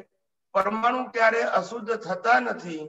પરમાણુ ઉપર કોટિંગ થાય છે તમારા ભાવનું because of your જ્ઞાન દર્શન is incorrect on a base of relative truth so that they create the rag and dvesh and they create the cause and the pure moleculars they coated with your rag and dvesh karma બરાબર and એટલે then after next birth the nature will give you the result at that time your parmanu is automatically transferred in a pure form હવે તમે જે require any, process but when next birth when the result is coming at that time what is your gnan darshan that is your purushart not parmanu is your purushart no i પુરુષાર્થ પરમાણુ પુરુષાર્થ છે એ નથી કહેવાનો મારો મર્મ મારો મર્મ એ હતો કે દ્રષ્ટિમાં જે દેખાય છે એ કરે છે આ જે પરિણામ લયાવે છે એ દ્રષ્ટિ જોવે છે. બોલો બોલો. જે એ દ્રષ્ટિ જોવે છે એટલે પોઈન્ટ આવતો હતો કે પરમાણુ એ દ્રષ્ટિ લઈ આવી કે દ્રષ્ટિએ પરમાણુને જોયા. મને ખ્યાલ તો આવી ગયો તમે જે કહો છો પરમાણુ જળ છે પરમાણુ પાસે દ્રષ્ટિ ના હોય. હવે તમે જવાબ આપી દીધો. આ જવાબ ફાઇન થઈ ગયો. હવે ગોઠવાઈ ગયું કે જળ છે. મને ખ્યાલ નતો. હવે ખ્યાલ આવી ગયો. તો દ્રષ્ટિ જ તો કામ કરી રહી છે. એટલે તો કહેવાય છે જેવી દ્રષ્ટિ એવી સૃષ્ટિ. You change your vision not action એટલે એમ એટલે આની પાછળ જે દ્રષ્ટિ શું થઈ રહી છે આપણો એનો પ્રોસેસ ચાલી રહ્યો છે. એનું તમારી પાસે જ્યારે યુનિવર્સલ ટ્રુથ વિઝન છે એટલે automatically it's cure automatically when you use it in any circumstances અને once you use it you develop it more and more ને એ પ્રમાણે તમારું of course of course knowledge ને રેડિયસ અજ્ઞાનનો ઉપયોગ કર્યો તો અજ્ઞાન પાવરફુલ થયું. વિજ્ઞાનનો ઉપયોગ કરશો તો વિજ્ઞાન પાવરફુલ થશે. એન્ડ વિથ હેલ્પ ઓફ વિજ્ઞાન vignan development development is going up and up right right okay સ્વામી એક બીજો પોઈન્ટ ક્વિકલી પૂછી લો શોર્ટમાં જવાબ આપશો તો એ ચાલશે કે ઘણા સાથે ઘણા સાથે ભજન કીર્તનમાં બેઠા હોય ત્યારે ક્વેશ્ચન પૂછાય કે તમે ક્યાં ધર્મમાં છો આ છે તો આપણને કોઈ પૂછે કે આધ્યાત્મિક તો એનું ડેફિનેશન શું આપવું it's very clear and very simple spiritual science is on a base of nature law of nature and the nature will create the circumstances kudrat it means six eternal elements kudrati kanun means law of nature universal truth. It is applicable to any living being creature either they believe it or not. And the third the nature create the circumstances. It is not controlled and governed by the human and god and goddesses. It is totally controlled by the law of nature. So the, so the whole spiritual science is on a base of kudrat kudrati kanun and Kanun. kudrati rachna.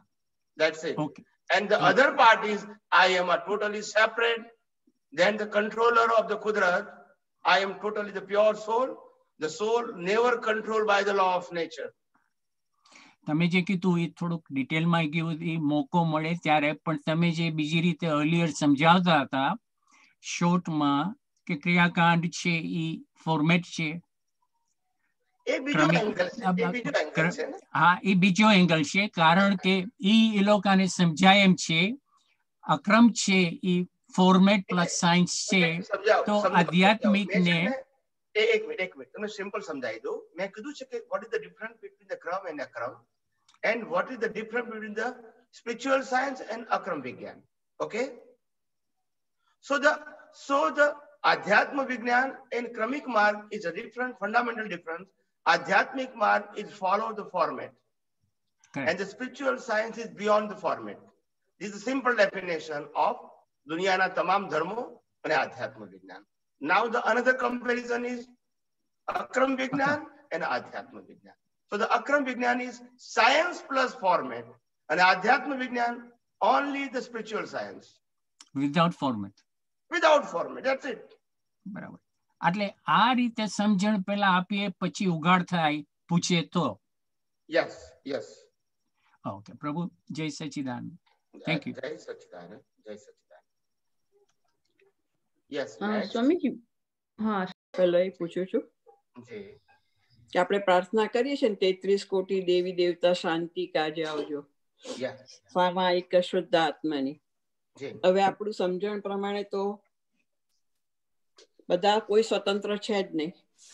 ચારેય ગતિઓમાં કોઈ. એક ખાલી ભાવ સત્તા મનુષ્યમાં જ છે. તો આપણે પ્રાર્થના કરતી વખતે તો આમ તો આખા બ્રહ્માંડના દાદાએ નમસ્કાર વિધિમાં કહી દીધું કે આખા બ્રહ્માંડના જીવ માત્રના રિયલ સ્વરૂપના અત્યંત ભક્તિપૂર્વક નમસ્કાર. તો મોક્ષે જતા દેવદેવીઓ સ્વતંત્ર છે નહીં છતાંય આપણે પ્રાર્થના કરીએ છીએ એમનું આગમન કરીએ છીએ. સો એની પાછળનું કારણ શું છે? How it helps us yes say આપણે, એટલે કે આત્માને આત્માને કોઈ પણ પ્રકારની હેલ્પની ન પહેલા જરૂર હતી, ન આજે જરૂર છે, ન ભવિષ્યમાં જરૂર પડવાની છે. એટલે આપણે ઇન્ટુ ઇમ્યુનિટીમાં આત્માનો આ પ્રશ્ન આવતો નથી. જે પ્રશ્ન આવે છે પ્રકૃતિનો આવે છે. કોણ આવે છે? પ્રકૃતિ. અને પ્રકૃતિ હંમેશા ડિપેન્ડન્ટ જ હોય. કોઈની પર, રામકૃષ્ણ મહાવીરની પ્રકૃતિ હોય તો પણ ડિપેન્ડન્ટ હોય, આધારિત હોય. સ્વતંત્ર ના હોઈ શકે. ઓકે હવે ભાવ શું છે અને પ્રકૃતિ શું છે? ભાવ એ તમારું, ભાવ એ તમારી પ્રકૃતિને જોઈતી હેલ્પ છે. શું છે? તમારે આવી પ્રકૃતિ જોઈએ છે, આવી હેલ્પ જોઈએ છે, આવી ફેસિલિટી જોઈએ છે, આવી હેપીનેસ જોઈએ છે. ધેટ્સ યોર ભાવ. હવે ભાવને અનુરૂપ આપણે કોઝ નાખીએ છીએ. એની અંદર જેમ વ્યવહારમાં આપણે કહીએ છીએ કે ભાઈ આપણો આ પ્રોબ્લેમ આવ્યો છે પણ જો આ કોઈ પોલીસવાળા કોઈ મોટા ડોક્ટર કોઈ મોટા નેતા જો આપણને ઓળખતા હોય તો આપણું કામ ઝડપથી સારી રીતે થઈ જાય. બરાબર છે? વ્યવહાર. આ આ વ્યવહારની જ વાત કરું છું. એવી રીતે અહીંયા ગોડ એન્ડ ગોડેસીસ એ પ્રકૃતિ અને ગોડ ગોડેસીસ નો ખાલી વ્યવહાર જ છે. એને આત્મા સાથે કોઈ લેવા દેવા નથી. પણ મોક્ષ માર્ગ સાથે છે એમ?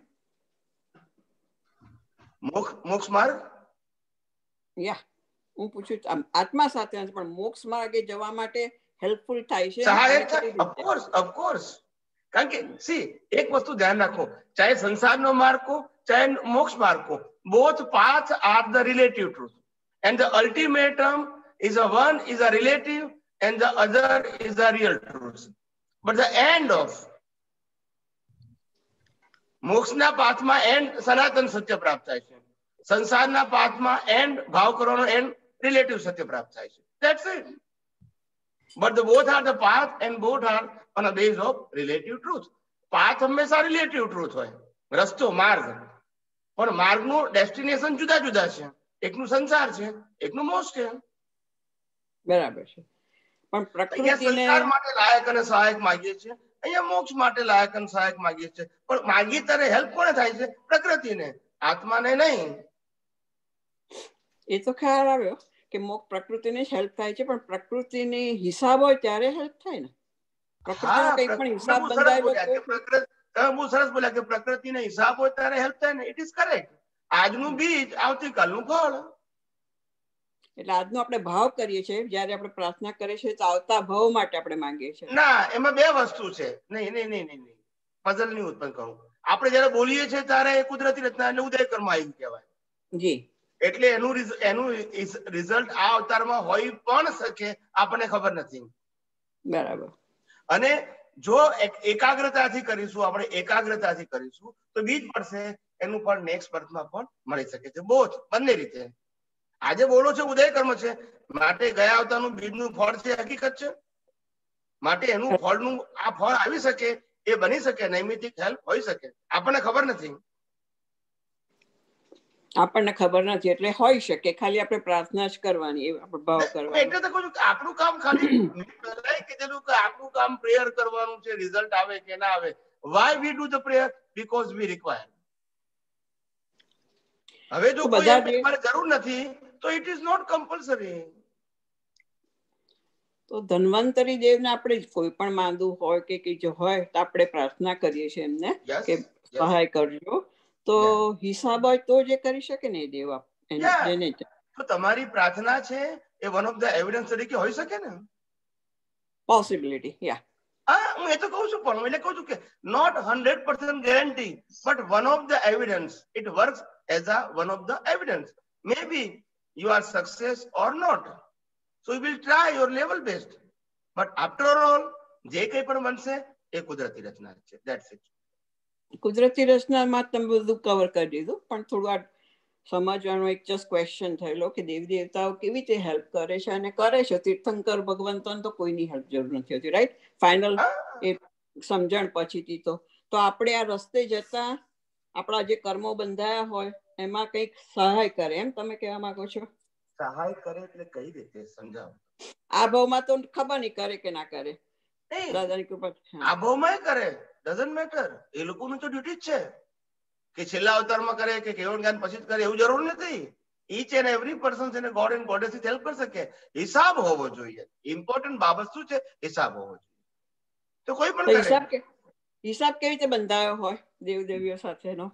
હિસાબ કઈ રીતે બંધાયો હોય કે તમે જ્યારે કોઈ પણ ગોડ એન્ડ ગોડેસીસનું એક્ઝિસ્ટન્સ જે આ દુનિયામાં છે એને તમે વિલિંગલી પ્રેયર કરી હોય તમારી રિક્વાયરમેન્ટ તો આ ભાવમાં? ગયા ભાવમાં કરીએ તો આ ભાવમાં હેલ્પ કરે.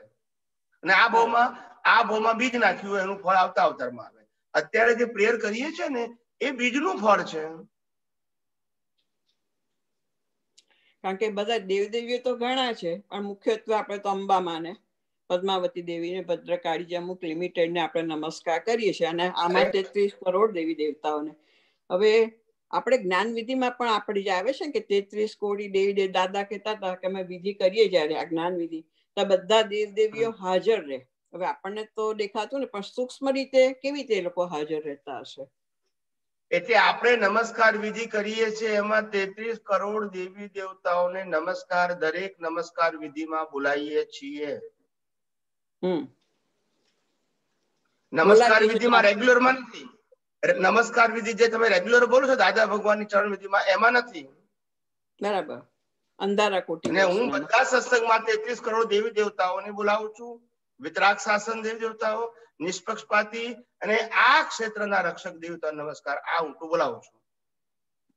બોલાવો છો એ વસ્તુ જુદી છે તો હિસાબ છે ને ઉકલી રહ્યો છે પણ એમની હાજરી તમને વર્તાય કેવી રીતે વર્તાય કે શી ખબર પડે એમ. મારો કહેવાનો મતલબ એ છે.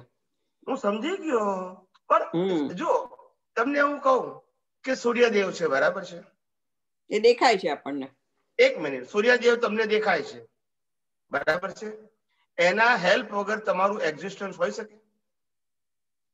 ના હોઈ શકે એ તો ઓબ્વિયસ યસ એમ દરેક દેવતાનો પોતાના રોલ છે જ. આપણા જીવનમાં. છે જ. આપણને કઈ રીતે એ વર્ક કરે છે એ ખબર નથી આપણને. બીકોઝ ઓફ લિમિટેડ વિઝન હા. પણ એટલે તો કહું છું કે જેમ જેમ તમારું વિઝન ક્લિયર થતું જશે એમ બધું દેખાતું જશે કે આ લક્ષ્મી મને મળે છે. તો હું હું ભણેલી છું મારી બેનપણીએ ભણેલી છે પણ એને ખાવાના ફાફા છે અને મને આસાની લક્ષ્મી મળે છે.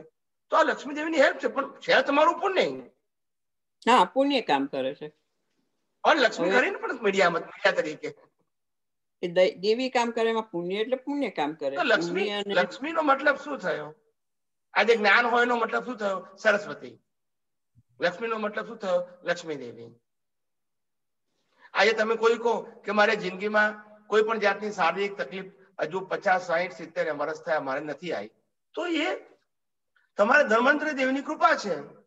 તમારી પુણ્ય કરી પુણ્ય કરી પણ સાથે એની હેલ્પ તો ખરી કે બધા નૈમિતિક કામ કરે છે ને આ તમારી પ્રકૃતિ તમારી પ્રકૃતિ પેલા માનો જ નહીં પેલા કુદરતી રચના જ માનો પેલા ફ્રોમ બર્થ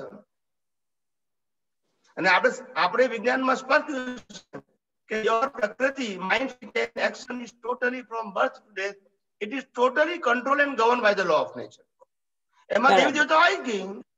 આવી જ ગયા એની અંદર. ઇટ ઇઝ ઇન્ક્લુડ ઇન્ક્લુડ એટલે બધા પોતાની ડ્યુટી છે. દરેકની પોતાની હેલ્પ કરે છે એટલે it is a part of his job સ્વતંત્ર રીતે નથી. તમારો જેવો હિસાબ હોય એ તો- મેં પહેલા મેં મેં પહેલા કીધેલું કે અમારા જીવનમાં અમારા વ્યક્તિગત જીવનમાં આવા અનેક દાખલાઓ બનેલા છે કે જેને મહાત્માઓએ ડિસ્ક્રાઇબ કર્યા હોય. ખાસ કરીને કવિરાજશ્રીએ. બે ચાર પ્રસંગોમાં એમને મને પૂછ્યું છે કે તમને દેવી દેવતાઓની હેલ્પ છે તો તમે કોઈ દેવી દેવતાઓને સાધેલા છે? ત્યારે મેં ચોખ્ખું જ કીધું કે કોઈ દેવી દેવતાઓના મેં દર્શન કર્યા નથી મેં કોઈની સાધના કરી નથી. દેવી દેવતાઓ એની ડ્યુટી પ્રમાણે હેલ્પ કરતા હોય તો મને ખબર નથી.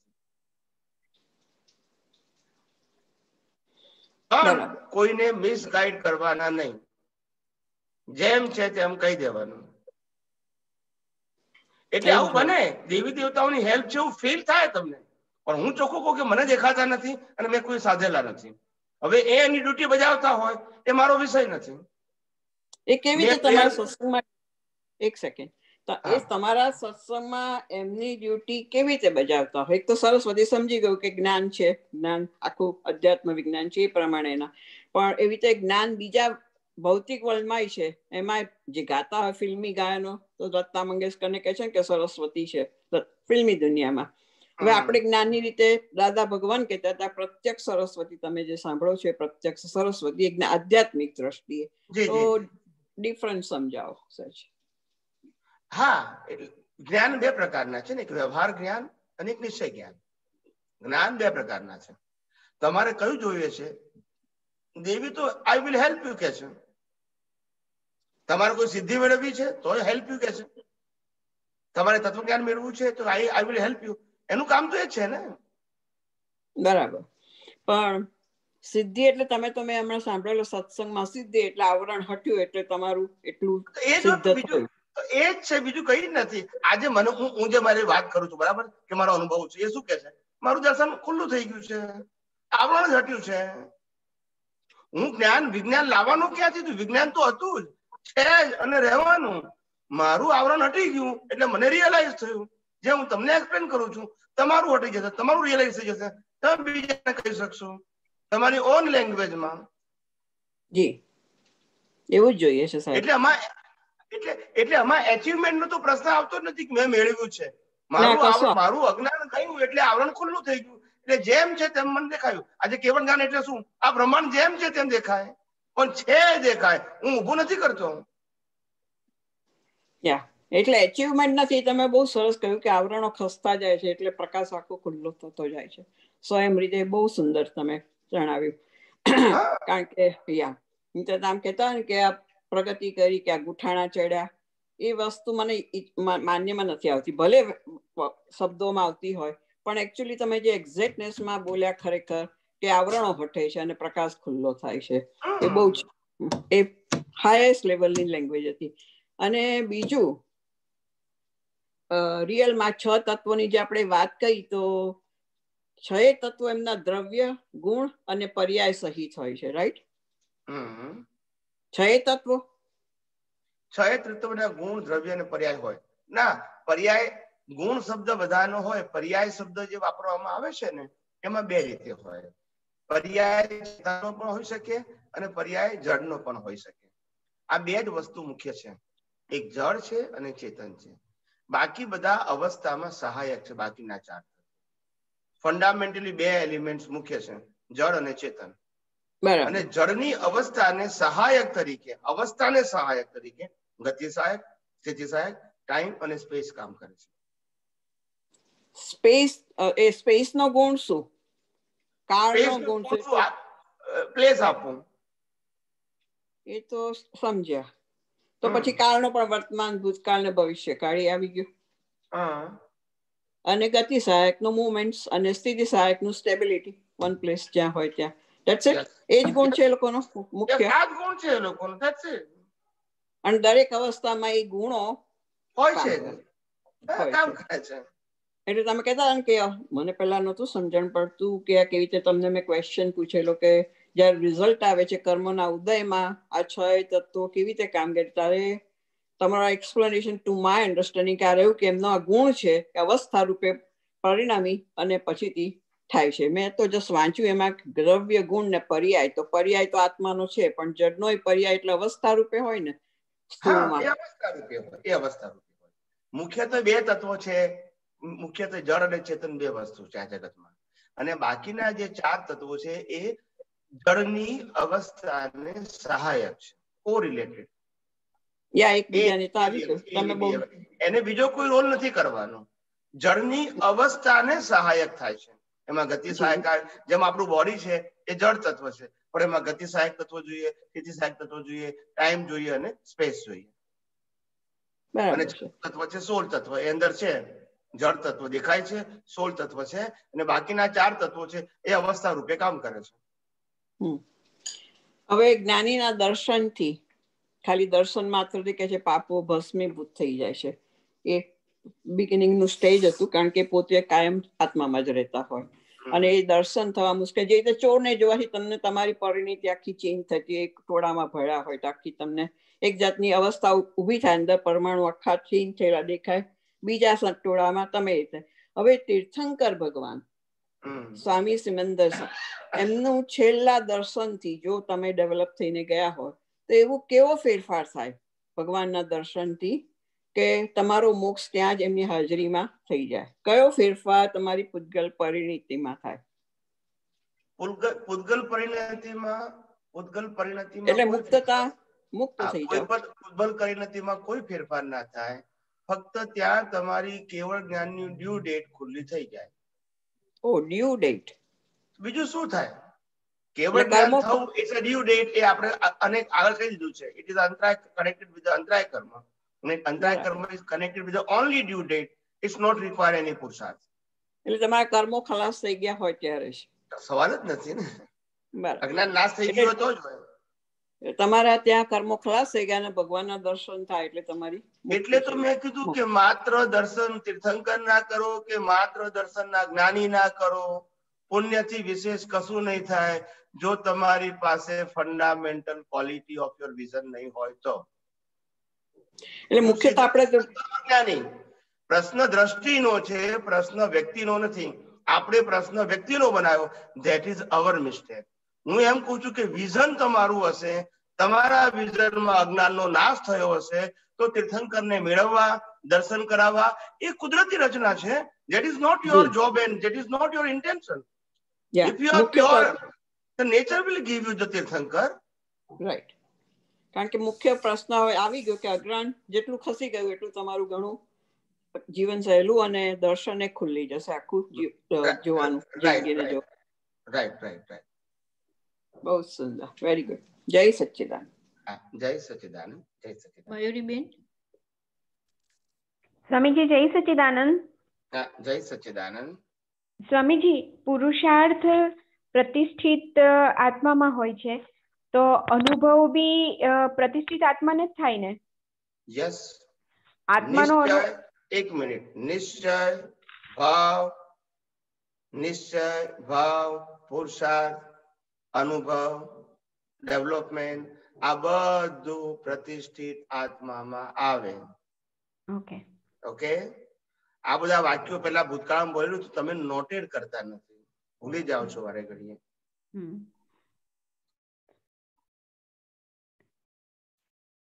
પણ અહીંયા ક્લિયર કર્યું. અને સ્વામીજી એક સંભળાય છે સ્વામીજી?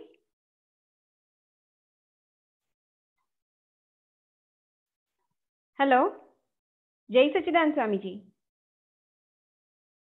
ઊભા રહ્યો જય સચ્ચિદાનંદ મારા બે નાના જ પ્રશ્નો છે. યસ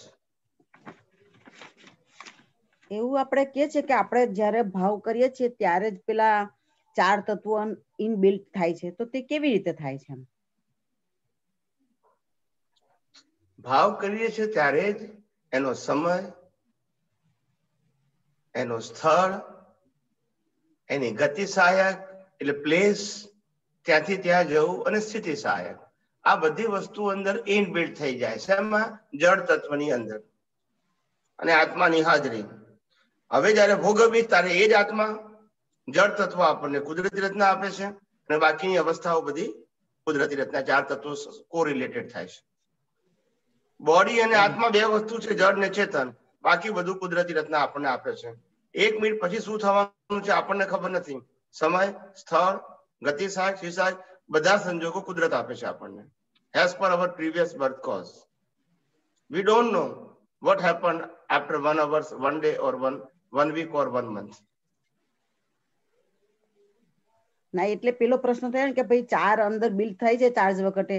અને ડિસ્ચાર્જ વખતે જો એ તત્વ રૂપે જોતા નથી, એટલે આપણને આ બધું અજ્ઞાન બધું ઉભું થાય છે. હવે એવું થયું કે હવે એક તમે હમણાં પેલા એક પ્રશ્નમાં એવું જવાબ આપેલો એટલે પેલા હેમાબેનની અંદર કે જળમાં જે અવસ્થાની અંદર ચાર તત્વો કામ કરે છે એની વેલ્યુ જો શૂન્ય થશે તો તમને આત્માની વેલ્યુ ખબર પડશે. એટલે આ તત્વ તત્વો છે અંદર તે શૂન્ય થશે એટલે કેવી રીતે એની વેલ્યુ શૂન્ય? તત્વની વેલ્યુ શૂન્ય નહીં થાય. તત્વની સાથે અવસ્થાની વેલ્યુ શૂન્ય થશે તો તમને શુદ્ધાત્મા સમજાશે. તત્વની વેલ્યુ તો શૂન્ય હોય જ નહીં તત્વ તો છે. મને એ થયું કે તત્વ રૂપે જોવાનું છે તત્વ રૂપે વેલ્યુ શૂન્ય કરવાની કેમ થાય છે? એટલે મેં પ્રશ્ન કર્યો. તત્વ રૂપે ઊભી થતી અવસ્થાની વેલ્યુ શૂન્ય કરવાની કારણ કે એ તત્વ અવસ્થા રૂપે કામ કરે છે. It is not a permanent clear clear હવે બીજી એક એક બીજો પ્રશ્ન હતો કે આપણે આત્માની અંદર કલ્પ ગુણ છે. કલ્પ નામનો ગુણ છે બરાબર? તો એ કઈ કલ્પનામનો ગુણ છે અને આપણે પ્રતિષ્ઠાત્મા જે જ્ઞાન દર્શન છે એ કોઈ રિલેટેડ છે કશું એમ? કે એનો ગુણ છે એને પેલું આપણું પ્રતિષ્ઠાત્માનું જે જ્ઞાન દર્શન હોય છે એમાં કંઈક એ રીતે મને કંઈક અંદર એ થાય છે એમ. કે કલ્પ ગુણ છે એના આધારે આપણને સમજી ગયો પણ તે જે જ્ઞાન દર્શન ગુણ છે ને એ જ્ઞાન દર્શન ગુણ પણ એક જાતનું કલ્પ જ છે. પણ એ કલ્પ તમારા જેવું જ્ઞાન જેવું દર્શન જે તે સમયે છે એ પ્રમાણે કામ કરે છે. સમજાય છે? કલ્પ નામની શક્તિ એટલે જેવો કલ્પે એવો થઈ જાય. બરાબર છે? પણ થઈ કોણ જાય? કોણ થઈ જાય? પ્રતિષ્ઠિત આત્મા. એના આધારે અવસ્થા ઊભી થાય બહાર. બરાબર. ખ્યાલ આવ્યો? એટલું અંતે તો કલ્પ શક્તિ ને જ્ઞાન દર્શન જ કેવું પડે. બરાબર સ્વામી. બરાબર. હવે તમારું શુદ્ધ જ્ઞાન દર્શન છે તો તમારી કોઈ કલ્પનાની જરૂર નથી. શુદ્ધ જ્ઞાન દર્શન એટલે આપણે કુદરતી રચનાને જ્ઞાન અને દર્શન શુદ્ધ છે એ જ વિતરાગ ચારિત્ર હતું પછી તમારે બીજી કોઈ કલ્પનાની જરૂર નથી. હું પોતે શુદ્ધાત્મા છું અને આજુ દેખાય છે બધું કુદરતી રીતના છે તો બીજી કલ્પના કઈ જરૂર પડે આપણને? બરાબર. સનાતન દ્રષ્ટિ બરાબર ને? હા. જય સ્વામિનારાયણ. તમારા જેવું જ્ઞાન દર્શન અમને ખુલ્લું થાય અને ખૂબ આગળ આ દેહે પૂર્ણાહુતિ કરી શકીએ એવી કૃપા કરજો સ્વામીજી. ખૂબ ખૂબ ઉઘાડ થાય છે રોજ જ ઘણો આનંદ થાય છે. જય ખૂબ પ્રગતિ કરો.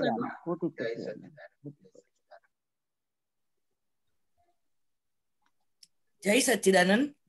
જય. જય જય અ, પ્રજ્ઞાશક્તિ એટલે શું?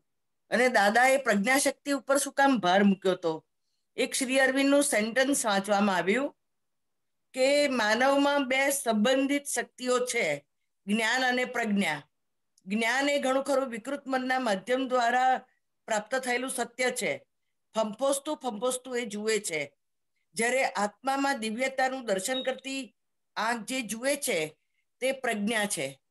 એટલે આ પરિપ્રેક્ષ્યમાં પણ મને સમજાવો. અને દાદા ભગવાન કેમ ભાર મૂકતા હતા પ્રજ્ઞાશક્તિ પર? એ પણ સમજવું છે. યસ જ્યાં સુધી હું કોણ છું એનું ભાન ના થાય ત્યાં સુધી અજ્ઞા જ હોય. બરાબર. અને અજ્ઞાનને આધારે સંસાર અને જન્મ મરણ તમારો ચાલુ રહેવાનો. હા. બીજો કોઈ ઓપ્શન તમારે મુક્તિની વાત નહીં કરવાની. હવે એ અજ્ઞાન જે છે એ અજ્ઞાનનું એક નામ અજ્ઞા થઈ ગયું. શું થઈ ગયું? અજ્ઞા. અજ્ઞાનનું એક નામ અજ્ઞા. ત્રણ શબ્દમાંથી બે શબ્દ થઈ ગયા. હવે જે વિજ્ઞાન હતું એને પ્રજ્ઞા કહેવાય. વિજ્ઞાન એટલે સનાતન સત્ય. હા. અને એ સનાતન સત્યનું વિઝન હોવું એનું નામ પ્રજ્ઞા. એ પ્રજ્ઞાની અંદર મૂળ વસ્તુ એક મિનિટ જવાબ મારો પૂરો નથી થયો છે એટલે એ પ્રજ્ઞાની અંદર મૂળ ચેતન તત્વ એક જ છે તેનું નામ આત્મા. બાકીના પાંચ તત્વો પણ અવિનાશી છે પણ જળ છે. હવે કે છે કે આ છ તત્વનું જ્ઞાન હોવું એનું નામ પ્રજ્ઞા. આ છ તત્વનું જ્ઞાન હોય તો પછી એડિશનલ તમારે અજ્ઞાન નાશ કરવા માટે કુદરતી રચનાનું જ્ઞાન જાણવું એટલા માટે જરૂરી છે કારણ કે તમને કર્મના ભોગવટા કુદરતી રચના પ્રમાણે મળે છે કુદરતી કાનૂન પ્રમાણે મળે છે. હવે જો કાનૂન સમજો છ તત્વો સમજો કાનૂન સમજો તો પછી કમ્પ્લેન ને ક્વેશ્ચન નો પ્રશ્ન રહેતો નથી. હા. બસ એ જ પ્રજ્ઞા કે જેનાથી તમને છ તત્વ સમજાય અને છ તત્વના નીચે રહેલા કુદરતનું કાનૂન સમજાય જેના કારણે આ કુદરતી રચના ઊભી થાય છે. આ બે વસ્તુ સમજાય તો ત્રીજી વસ્તુ સમજવી કુદરતી કાનૂન કુદરતી રચના ઈઝી છે. બરાબર એટલે એ પ્રજ્ઞા દૂતી તરીકેનું કામ કરે છે ચેક મોક્ષ માર્ગ માટે. હવે તમે છ તત્વ જાણતા નથી કુદરતી કાનૂનો જાણતા નથી માટે કુદરતી રચના જાણતા નથી માટે તમારી પાસે અજ્ઞાન છે. હું ચંદુલાલ છું હું જ બોલું છું હું જ વિચારું છું હું જ કરું છું. એમ સામે વાળો પણ એ જ વિચારે છે એ જ બોલે છે એ જ કરે છે. મારે મેળવવાનું છે મેં ગુમાવ્યું સુખ મને બહારથી મળશે. મારું સુખ કોઈએ લઈ લીધું કોઈએ મને સુખ આપ્યું છે. આ બધી ભ્રાંતિ ઊભી થવાની કારણ કે અજ્ઞા છે. બરાબર. અને અજ્ઞા છે તો રાગદ્વેષ કમ્પલસરી છે ઓપ્શન નથી કોઈ. બરાબર. સુખ બહારથી લેવાનું મને રાગદ્વેષ તમને બહારના માટે થાય છે.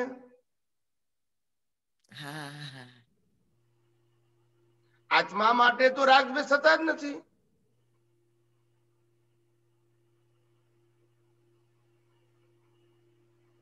સમજાયું? હા.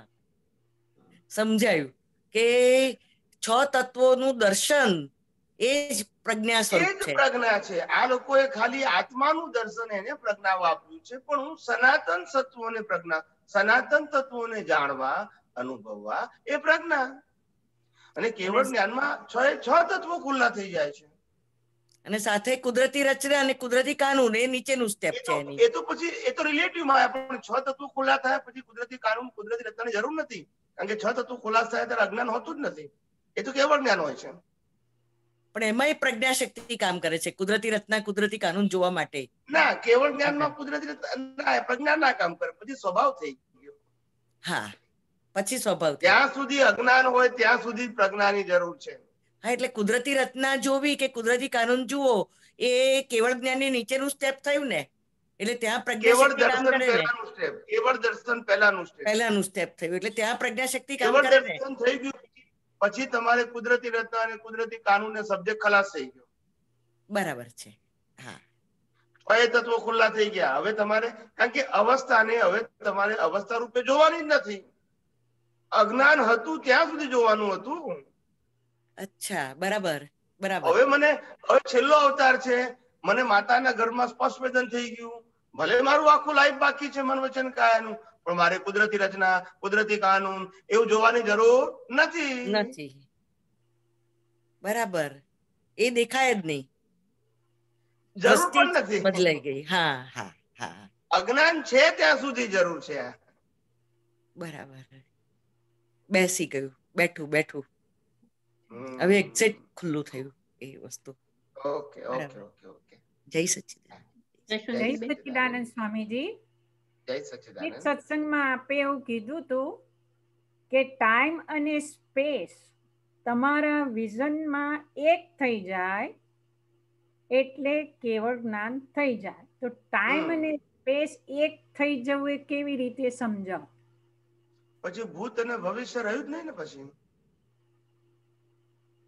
એ આ એ તો ખ્યાલ આવ્યો તો એ રીતે વર્તમાનમાં તમે આત્મામાં રહો તો જ વર્તમાનમાં રહેવાય. અવસ્થામાં રહો તો વર્તમાનમાં રહી જ ના શકો. કારણ કે અવસ્થામાં તો ભૂતકાળ ને ભવિષ્યકાળ હોય રાઈટ રાઈટ એટલે કેવળ જ્યારે બધું વિઝનમાં સંપૂર્ણ એક થઈ જાય એટલે કે વર્તમાનમાં જ તમે આવી ગયા. એમ કહેવા માંગો અવસ્થાથી બહાર નીકળો અને તત્વદ્રષ્ટિ થઈ ગઈ તો પછી એમાં ભૂત ભવિષ્ય ના હોય. એટલે પછી વર્તમાન જ રહે. પ્રકૃતિને ભલે અવસ્થા હોય તમારા વિઝનમાં અવસ્થા ના હોય. ઓકે ઓકે સમજાય. અચ્છા, બીજું આજે આજના સવાલમાં હતું રાજુભાઈના કે દ્રષ્ટિથી, દ્રષ્ટિ શુદ્ધ થઈ જાય. એટલે વિઝનમાં તમારું, વિઝન તમારું એકદમ શુદ્ધ થઈ જાય, તો પછી અશુ, અશુદ્ધ જે પરમાણુ હોય તે દ્રષ્ટિથી પરમાણુ શુદ્ધ થતા જાય, એવું હોય? પહેલી વસ્તુ એ કે દ્રષ્ટિ શુદ્ધ થવી એટલે જ્ઞાન દર્શન શુદ્ધ થઈ જવું. બરાબર. હવે જે પરમાણુ ગયા અવતારમાં ચાર્જ કર્યા હતા ગયા અવતારના અજ્ઞાનથી એનો કંટ્રોલર કુદરત છે. બરાબર. એટલે હવે તમે તમારા શુદ્ધ જ્ઞાન દર્શનમાં રહ્યા ઉકળતી વખતે તમારે કોઈ લેવા દેવા નથી. એટલે પરમાણુ ખરી પડે એવું? પણ એ તો કુદરત કરે છે ને. તમારી એક્ઝામનું રિઝલ્ટ કુદરત આપે છે. આપણે જ્ઞાન દર્શનમાં રહ્યા એ પણ તો તમારું જ્ઞાન દર્શન તમારું શુદ્ધ છે. હા. તો પછી પુરુષાર્થ નો પ્રશ્ન ક્યાં રહ્યો? ઓકે ઓકે તમારું જ્ઞાન દર્શન અશુદ્ધ છે તો જ બધા પઝલ છે.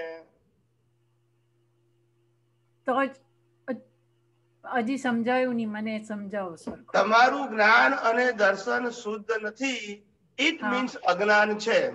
બરાબર. અને માટે અજ્ઞાન છે તો તમારે પઝલ છે. ઓકે અને પઝલ છે તો એનું સોલ્યુશન જોઈશે.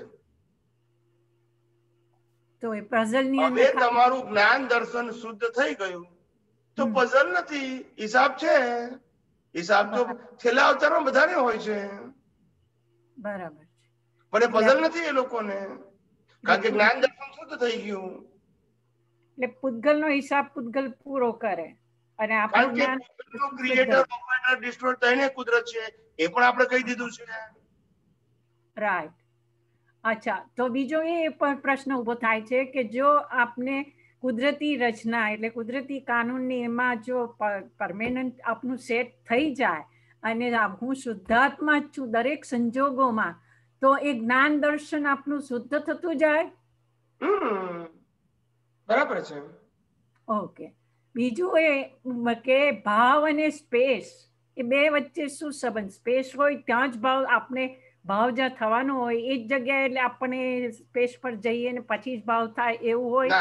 નોટ નેસેસરી હિસાબ હિસાબ સાથે પ્લેસ જોડાયો છે ભાવ સાથે નહીં. ઓ હિસાબ સાથે સ્પેસ છે. ભાવમાં તમારી ફ્રીડમ છે. તમે ગમે ત્યાં ગમે તે ભાવ કરી શકો. ઘરમાં પણ સારા ભાવ કરી શકો અને મંદિરમાં ખરાબ ભાવ કરી શકો. It is not depend on a place it is depend on your જ્ઞાન એન્ડ દર્શન at that time in any place okay એટલે ભાવ ને સ્પેસ સાથે સંબંધ નથી એવું re- result is connected with the particular place because it is controlled and governed by the law of nature oh okay okay it is not in your hand alright okay ખ્યાલ આવી Hmm? Okay આપના જેવી દ્રષ્ટિ પ્રાપ્ત થાય એવી કૃપા કરજો જરૂર જરૂર જય સચ્ચિદાનંદ. જય સચ્ચિદાનંદ યસ Satchidanand સ્વામીજી જય Satchidanand. જય Satchidanand. હા સ્વામીજી એક થોડું નાનું પહેલા એનાઉન્સમેન્ટ કરી દઉં કે અત્યારે હજી સુધી જેને પણ થર્ડ ફેઝમાં સ્વામીજી હું આના માટે વિચાર કર્યો હતો કે દાદાનું પણ અ, બીજાને દુઃખ થાય નહીં એના માટે એને સવારના પ્રાતવિધિમાં પણ લખાયું છે. આપણે પણ પ્રાર્થના કરીએ કે કોઈ જાત કોઈ પણ જીવ માત્રને કિંચિત માત્ર દુઃખ ન થાય એવી દિસ મને શાદવાદ વાણી વર્તનને એ મનન કરવાની શક્તિ આપો. તો? એ આ બધું કરીએ છીએ એટલે એના પરથી ઓલું બધું વિચાર કરતા કરતા એમ લાગ્યું કે જો આપણે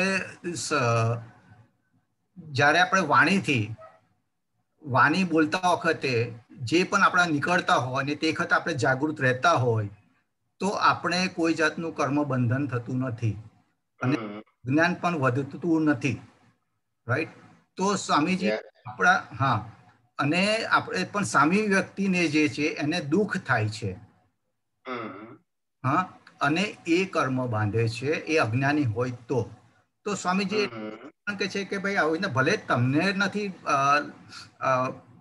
નવું કર્મ નથી બંધાતું, પણ છતાં પણ તમારે એની તમારે માફી માંગવી જોઈએ. અને તો સ્વામી, એ બાબતનો વિચાર કરતા મને આ મને આ વસ્તુ મારા વિઝનમાં આવી છે કે આપણને નથી બંધાતું. આપણે કર્મ બંધ થતો નથી, આપણે અજ્ઞાન વધતું નથી. પણ આપણા નિમિત્તે સામી વ્યક્તિ આપણને કરતા જોઈને એને કર્મ બંધ થાય છે, એટલે એને જો આપણે કહીએ કે ભાઈ હું તને એની માફી માંગી લઈએ કે એ જો કરીએ, તો એને કર્મ બંધ જે હોય એની ઇન્ટેન્સિટી કદાચ ઓછી થાય, અથવા તો કદાચ નામું ઉત્પન્ન થઈ જાય, એટલે કર્મો બંધ એને ન થાય, એ કારણસર આપણે દેશ એને માફી માંગવી જોઈએ. કારણ કે આ વસ્તુ સ્વામીજી વસ્તુ મને દિશુ મહાવીર ભગવાનના દાખલા પરથી પણ મને એક વસ્તુ એના પરથી પણ આવે છે. કે જ્યારે ઓલો એક દેવ છે સંગમ દેવ કે કંઈ પણ જે હોય એ જ્યારે એમને બધું કરી જાય તે વખતે મહાવીર ભગવાનની આંખમાં આંસુ આવી જાય છે. એમને કોઈ જતું નથી પણ એમને કે મારા રીતે ઓલો એ સામી વ્યક્તિ જે દેવ છે એની એને કર્મ બંધ થયું ને એની પડતી થશે એના કારણે એને સ્વામીજી મહાવીર સ્વામી ભગવાનને એના આંખોમાંથી આંસુ આવેલા હતા. તો સ્વામી તો આ વસ્તુ આજે મારી સમજ છે કે બીજાને આપણે કર્મ બંધ ન પડે એના માટે આપણે માફી માંગી લઈએ તો એ એ વસ્તુ બરોબર છે સ્વામીજી? હા હવે જવાબ આપવાની શરૂઆત કરું? યસ સ્વામીજી. ઓકે. પહેલી વસ્તુ એ આધ્યાત્મ આધ્યાત્મિક વિજ્ઞાનની અંદર તમે અને તમારો soul that is the only important દુનિયા it is not your important first thing right દુનિયાની કઈ વ્યક્તિ તમારા મનોચન કાય છે શું ડીલિંગ કરે છે that is not your subject hundred percent if you are અમારો જોબ પૂરો થવા દો please okay okay okay Swami okay મેં તમારો પ્રશ્ન વચ્ચે બોલ્યો કોઈ જગ્યાએ? નહીં નહીં નહીં સ્વામી બરાબર છે બરોબર નહીં બોલવાનું. મુદ્દો લખી રાખજો કાગળમાં. પ્રશ્ન પૂછવાનો સોરી સોરી સોરી સ્વામી સોરી સોરી ઓકે. તો કે છે કે આપણા મન વચન કાયા શું કરે છે? તે પણ કુદરતી રચના છે. સામેના વાળા મનોવચન કયા શું કરે છે તે પણ કુદરતી રચના છે. Both are the equal and control and govern by the law of nature મારામાં જ્ઞાન છે એટલે હું કરમ બાંધતો નથી. પેલામાં અજ્ઞાન છે એટલે કરમ બાંધે છે. That is not my subject number one yes સ્વામી. બરોબર છે. નંબર ટુ મહાવીરને પેલા દેવે સંગમ નામના દેવે ઉપસર્ગ કર્યા પછી પાછો ગયો એટલે મહાવીરના આંખમાં આંસુ આયા એ કુદરતી રચના છે એ પુરુષાર્થ નથી એ પ્રાયશ્ચિત નથી. નંબર થ્રી મહાવીર ભગવાનની ધર્મપત્ની મહાવીરે દીક્ષા લીધી એ ના ગમ્યું. એનું પ્રાયશ્ચિત મહાવીરે કર્યું નથી અને કરવાની જરૂર પણ નથી અને એ મોક્ષે ગયા. બરોબર છે રાઈટ એટલે કોઈ જગ્યાએ તમારો એંગલ સેટ થતો નથી. આવા હજાર દાખલા છે પણ તમે મહાવીર નો આપ્યો તમે મેં મહાવીર ના આપી દીધો દાખલો. ઓકે રાઈટ એટલે સિદ્ધાંતની અંદર સેટ થતું નથી. શ્રદ્ધામાં બધું સેટ થઈ જાય. નહીં નહીં નહીં સ્વામીજી બરોબર છે. આ તો મેં શરૂઆતમાં એ પણ મેં કીધું કે આપણે કોઈ જાતનું આપણને કોઈ બંધન થતું નથી આપણે કોઈ કર્મ બંધ થતું નથી આપણું અજ્ઞાન ઓછું જ થાય છે. પણ આપણા નિમિત્તે કોઈની નો એટલે એ ભાવના હજી સુધી આપણે કેવળ જ્ઞાનને પામ્યા નથી કેવળ દર્શન આપણે પામ્યા નથી. કદાચ એટલે તે એ કારણસર આપણે દિસ કંઈક આપણે દિસ થોડીક કરુણા ભાવ હોય કે આપણે દયા ભાવ હોય કે એને કર્મ બંધ ન થાય, એના કારણે આપણે જે કરવું એને એ એંગલથી હું આપને પૂછી રહ્યો હતો સ્વામીજી. પણ એટલે એ તમારો સબ્જેક્ટ જે પ્રકૃતિના ભાવનો છે, એ તમારો ક્વેશ્ચન અને તમારું વિઝન અને તમારો અન્ડરસ્ટેન્ડિંગ એ ધાર્મિક અને સામાજિક છે. It is not connected with the spiritual relative view point as a religious and as a social your answer is totally hmm okay because કારણ કે ધર્મની અંદર દયા શબ્દને સેન્ટરમાં મૂકવામાં આવે છે અને દયા connected with body and I am talking about Karuna Karuna connected with soul okay so there is no subject okay in a spiritual but of course in a a and social you are Hmm. Hmm okay right ને એટલે સ્વામીજી વિચાર કરતા મને આ લાગ્યું, મેં કહ્યું સ્વામીજી પાસે કન્ફર્મ કરી લઈશ કે આ બાબતમાં હવે શું કર, થાય છે? કારણ કે દાદા ભગવાન વારંવાર કહે છે, ભાઈ, તમારે ઓલું આ બધી વસ્તુ બરોબર છે, એ તમારું તમે સેપરેટ રહો છો. આવો છતાં પણ દાદા કહે છે, એટલા માટે વિચાર કરતો તો કઈ, શેના માટે દાદા કહેતા હશે? એટલે મને વિચાર કરતા કરતા આ વસ્તુ મને થોડી જણાય મેં કહ્યું સ્વામીજી પાસે હું આનું કન્ફર્મેશન લઈ લઉં, એમની શું છે એ પૂછી લઉં તમે બસ, સ્વામી, બીજું કઈ નહોતું. ઓકે ઓકે, જય બધી તમને બધાને આટલું ખબર પડી જવી જોઈએ. મેં ભૂતકાળમાં પણ કીધેલું કે એમને વિજ્ઞાન દ્રષ્ટિ ઉત્પન્ન થયેલી. નંબર એક વિજ્ઞાન આપવું નંબર બે વિજ્ઞાન ના આપી શક્યા. ડ્યુ ટુ ધ કુદરતી રચના. આ ત્રણ વસ્તુથી તમને જવાબ મળી જવો જોઈએ. એમને શું શું કીધેલું છે? એનો જવાબ ડ્યુ ટુ ધ સર્કમસ્ટાન્સીસમાં આવી જાય છે. But don't connected with science હા હા નહીં ઓકે નહીં નહીં બરાબર. મને મારા સંજોગ આજે મારે તમને કઈ કહેવું પડ્યું. It is not connected with science હા ડેફિનેટલી એ તો કનેક્શન છે જ નહીં સ્વામી. એનું કને આ તો દાદા ભગવાને સંજોગાધીન જે કહેવું પડ્યું જે કહેવું નતું પણ કહેવું પડ્યું એ તો ઉદય કર્મ છે. રાઈટ રાઈટ બરોબર સ્વામી. પણ એમને શું કહેવું હતું? એ એમની દ્રષ્ટિમાં એમને કીધું કે મારે વિજ્ઞાન આપવું હતું કારણ કે મને વિજ્ઞાન પ્રગટ થયું છે. પણ હું આપી ના શક્યો. ડ્યુ ટુ ધ સર્કમસ્ટાન્સીસ અને જે આપ્યું બરોબર છે એ વિજ્ઞાન નથી કારણ કે ડ્યુ ટુ ધ સર્કમસ્ટાન્સીસ બરોબર સ્વામી. નહીં એ તો બાકીનું બધું તમે જાણો છો એટલે વિગતવાર કહેતો નથી. નહીં નહીં સર, જરૂર નથી સ્વામી. બીજી વસ્તુ જે વસ્તુ આજે ખાલી એ કર્યું એટલા માટે જસ્ટ વિચાર કરતા મને આ લાગ્યું કે ઓકે આ રીતે જે સ્વામીજી આપણો આઈન્સ્ટાઈનનું જે સમીકરણ છે E is equal to MC square તો એનો મતલબ છે કે એનર્જી અને જળ છે માસ એ ઇન્ટરચેન્જેબલ છે. તો આપણા જે છ તત્વો છે તેમાંથી એક તત્વ જળ તત્વ છે તો એને એની જગ્યાએ આપણે જળ અથવા તો એનર્જી એવું મૂકી શકીએ? એ એનર્જી આત્મામાં છે ને એ એનર્જી જગતમાં છે. વિનાશી શક્તિ જગતમાં કામ કરે છે. અવિનાશી શક્તિ એ આત્માની પોતાની છે. જ્યાં સુધી અવિનાશીની હાજરીમાં વિનાશી વિઝન છે ત્યાં સુધી અનંત અવતારો ભટકવાનું છે કર્મ બંધાઈને એ પણ એની એનર્જી છે. હા એટલે વિનાશી જ્યારે તમારી પાસે અજ્ઞાન ખલાસ થઈ જાય અને તમને શાશ્વત સુખનો અનુભવ થાય છે એ પણ અવિનાશી છે. ઇનફાઇનાઇટ છે.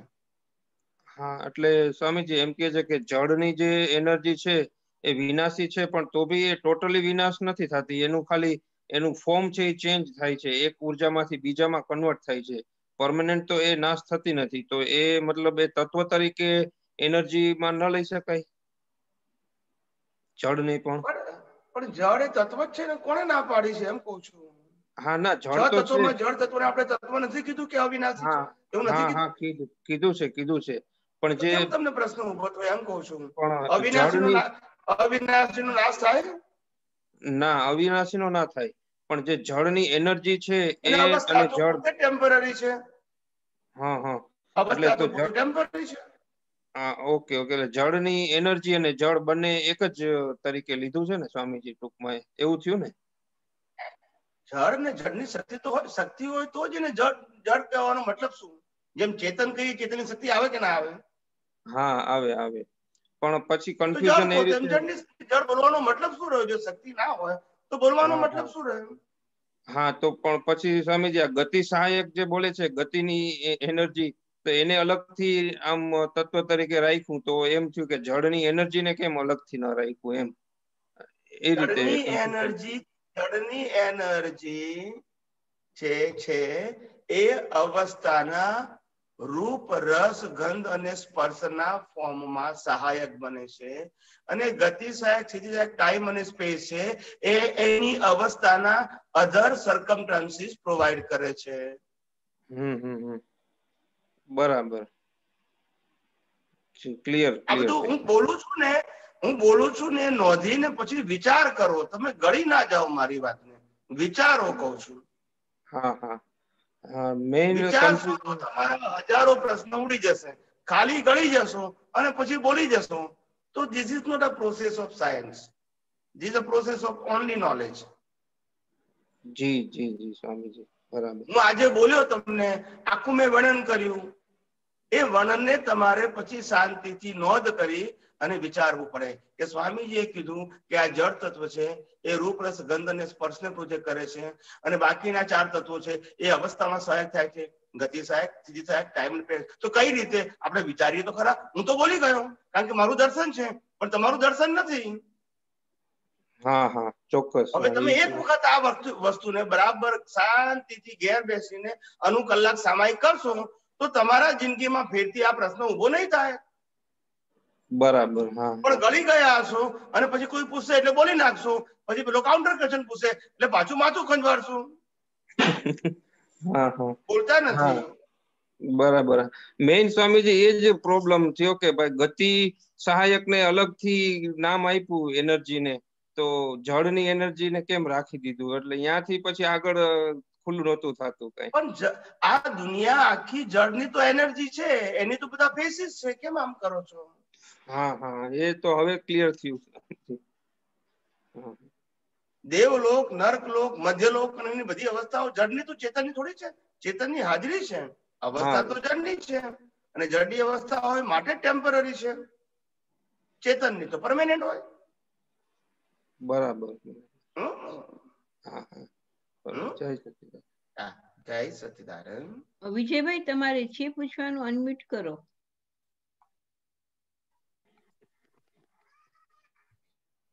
જય સચ્ચિદાનંદ સ્વામીજી. જય સચિદાનંદ.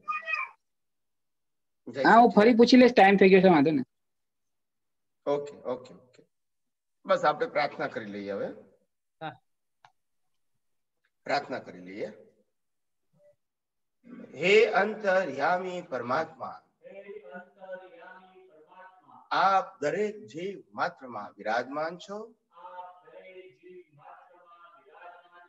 તેમજ મારામાં પણ બિરાજેલા છો? આપનું સ્વરૂપ? તે જ મારું સ્વરૂપ છે. મારું સ્વરૂપ શુદ્ધાત્મા છે. હે શુદ્ધાત્મા ભગવાન, હું આપને અભેદ ભાવે, અત્યંત ભક્તિપૂર્વક નમસ્કાર કરું છું. અજ્ઞાનતાએ કરીને અજાગૃતિએ કરીને, દ્રષ્ટિ સંબંધી જે કંઈ પણ દોષો થયા છે, અને થાય છે તે સર્વ દોષોને આપની સમક્ષ જાહેર કરું છું. તેનો હૃદયપૂર્વક ખૂબ પસ્તાવો કરું છું. અને આપની પાસે ક્ષમા પ્રાર્થું છું. હે પ્રભુ, મને ક્ષમા કરો ક્ષમા કરો ક્ષમા કરો. અને ફરીથી આવા દોષો ક્યારે પણ ન કરું, એવી આપ મને શક્તિ આપો. હે શુદ્ધાત્મા ભગવાન, આપ એવી કૃપા કરો કે અમને ભેદભાવ છૂટી જાય અને અભેદ સ્વરૂપ પ્રાપ્ત થાય. અમે તમારામાં અભેદ સ્વરૂપે તન્મયાકાર રહીએ. જય સચ્ચિદાનંદ.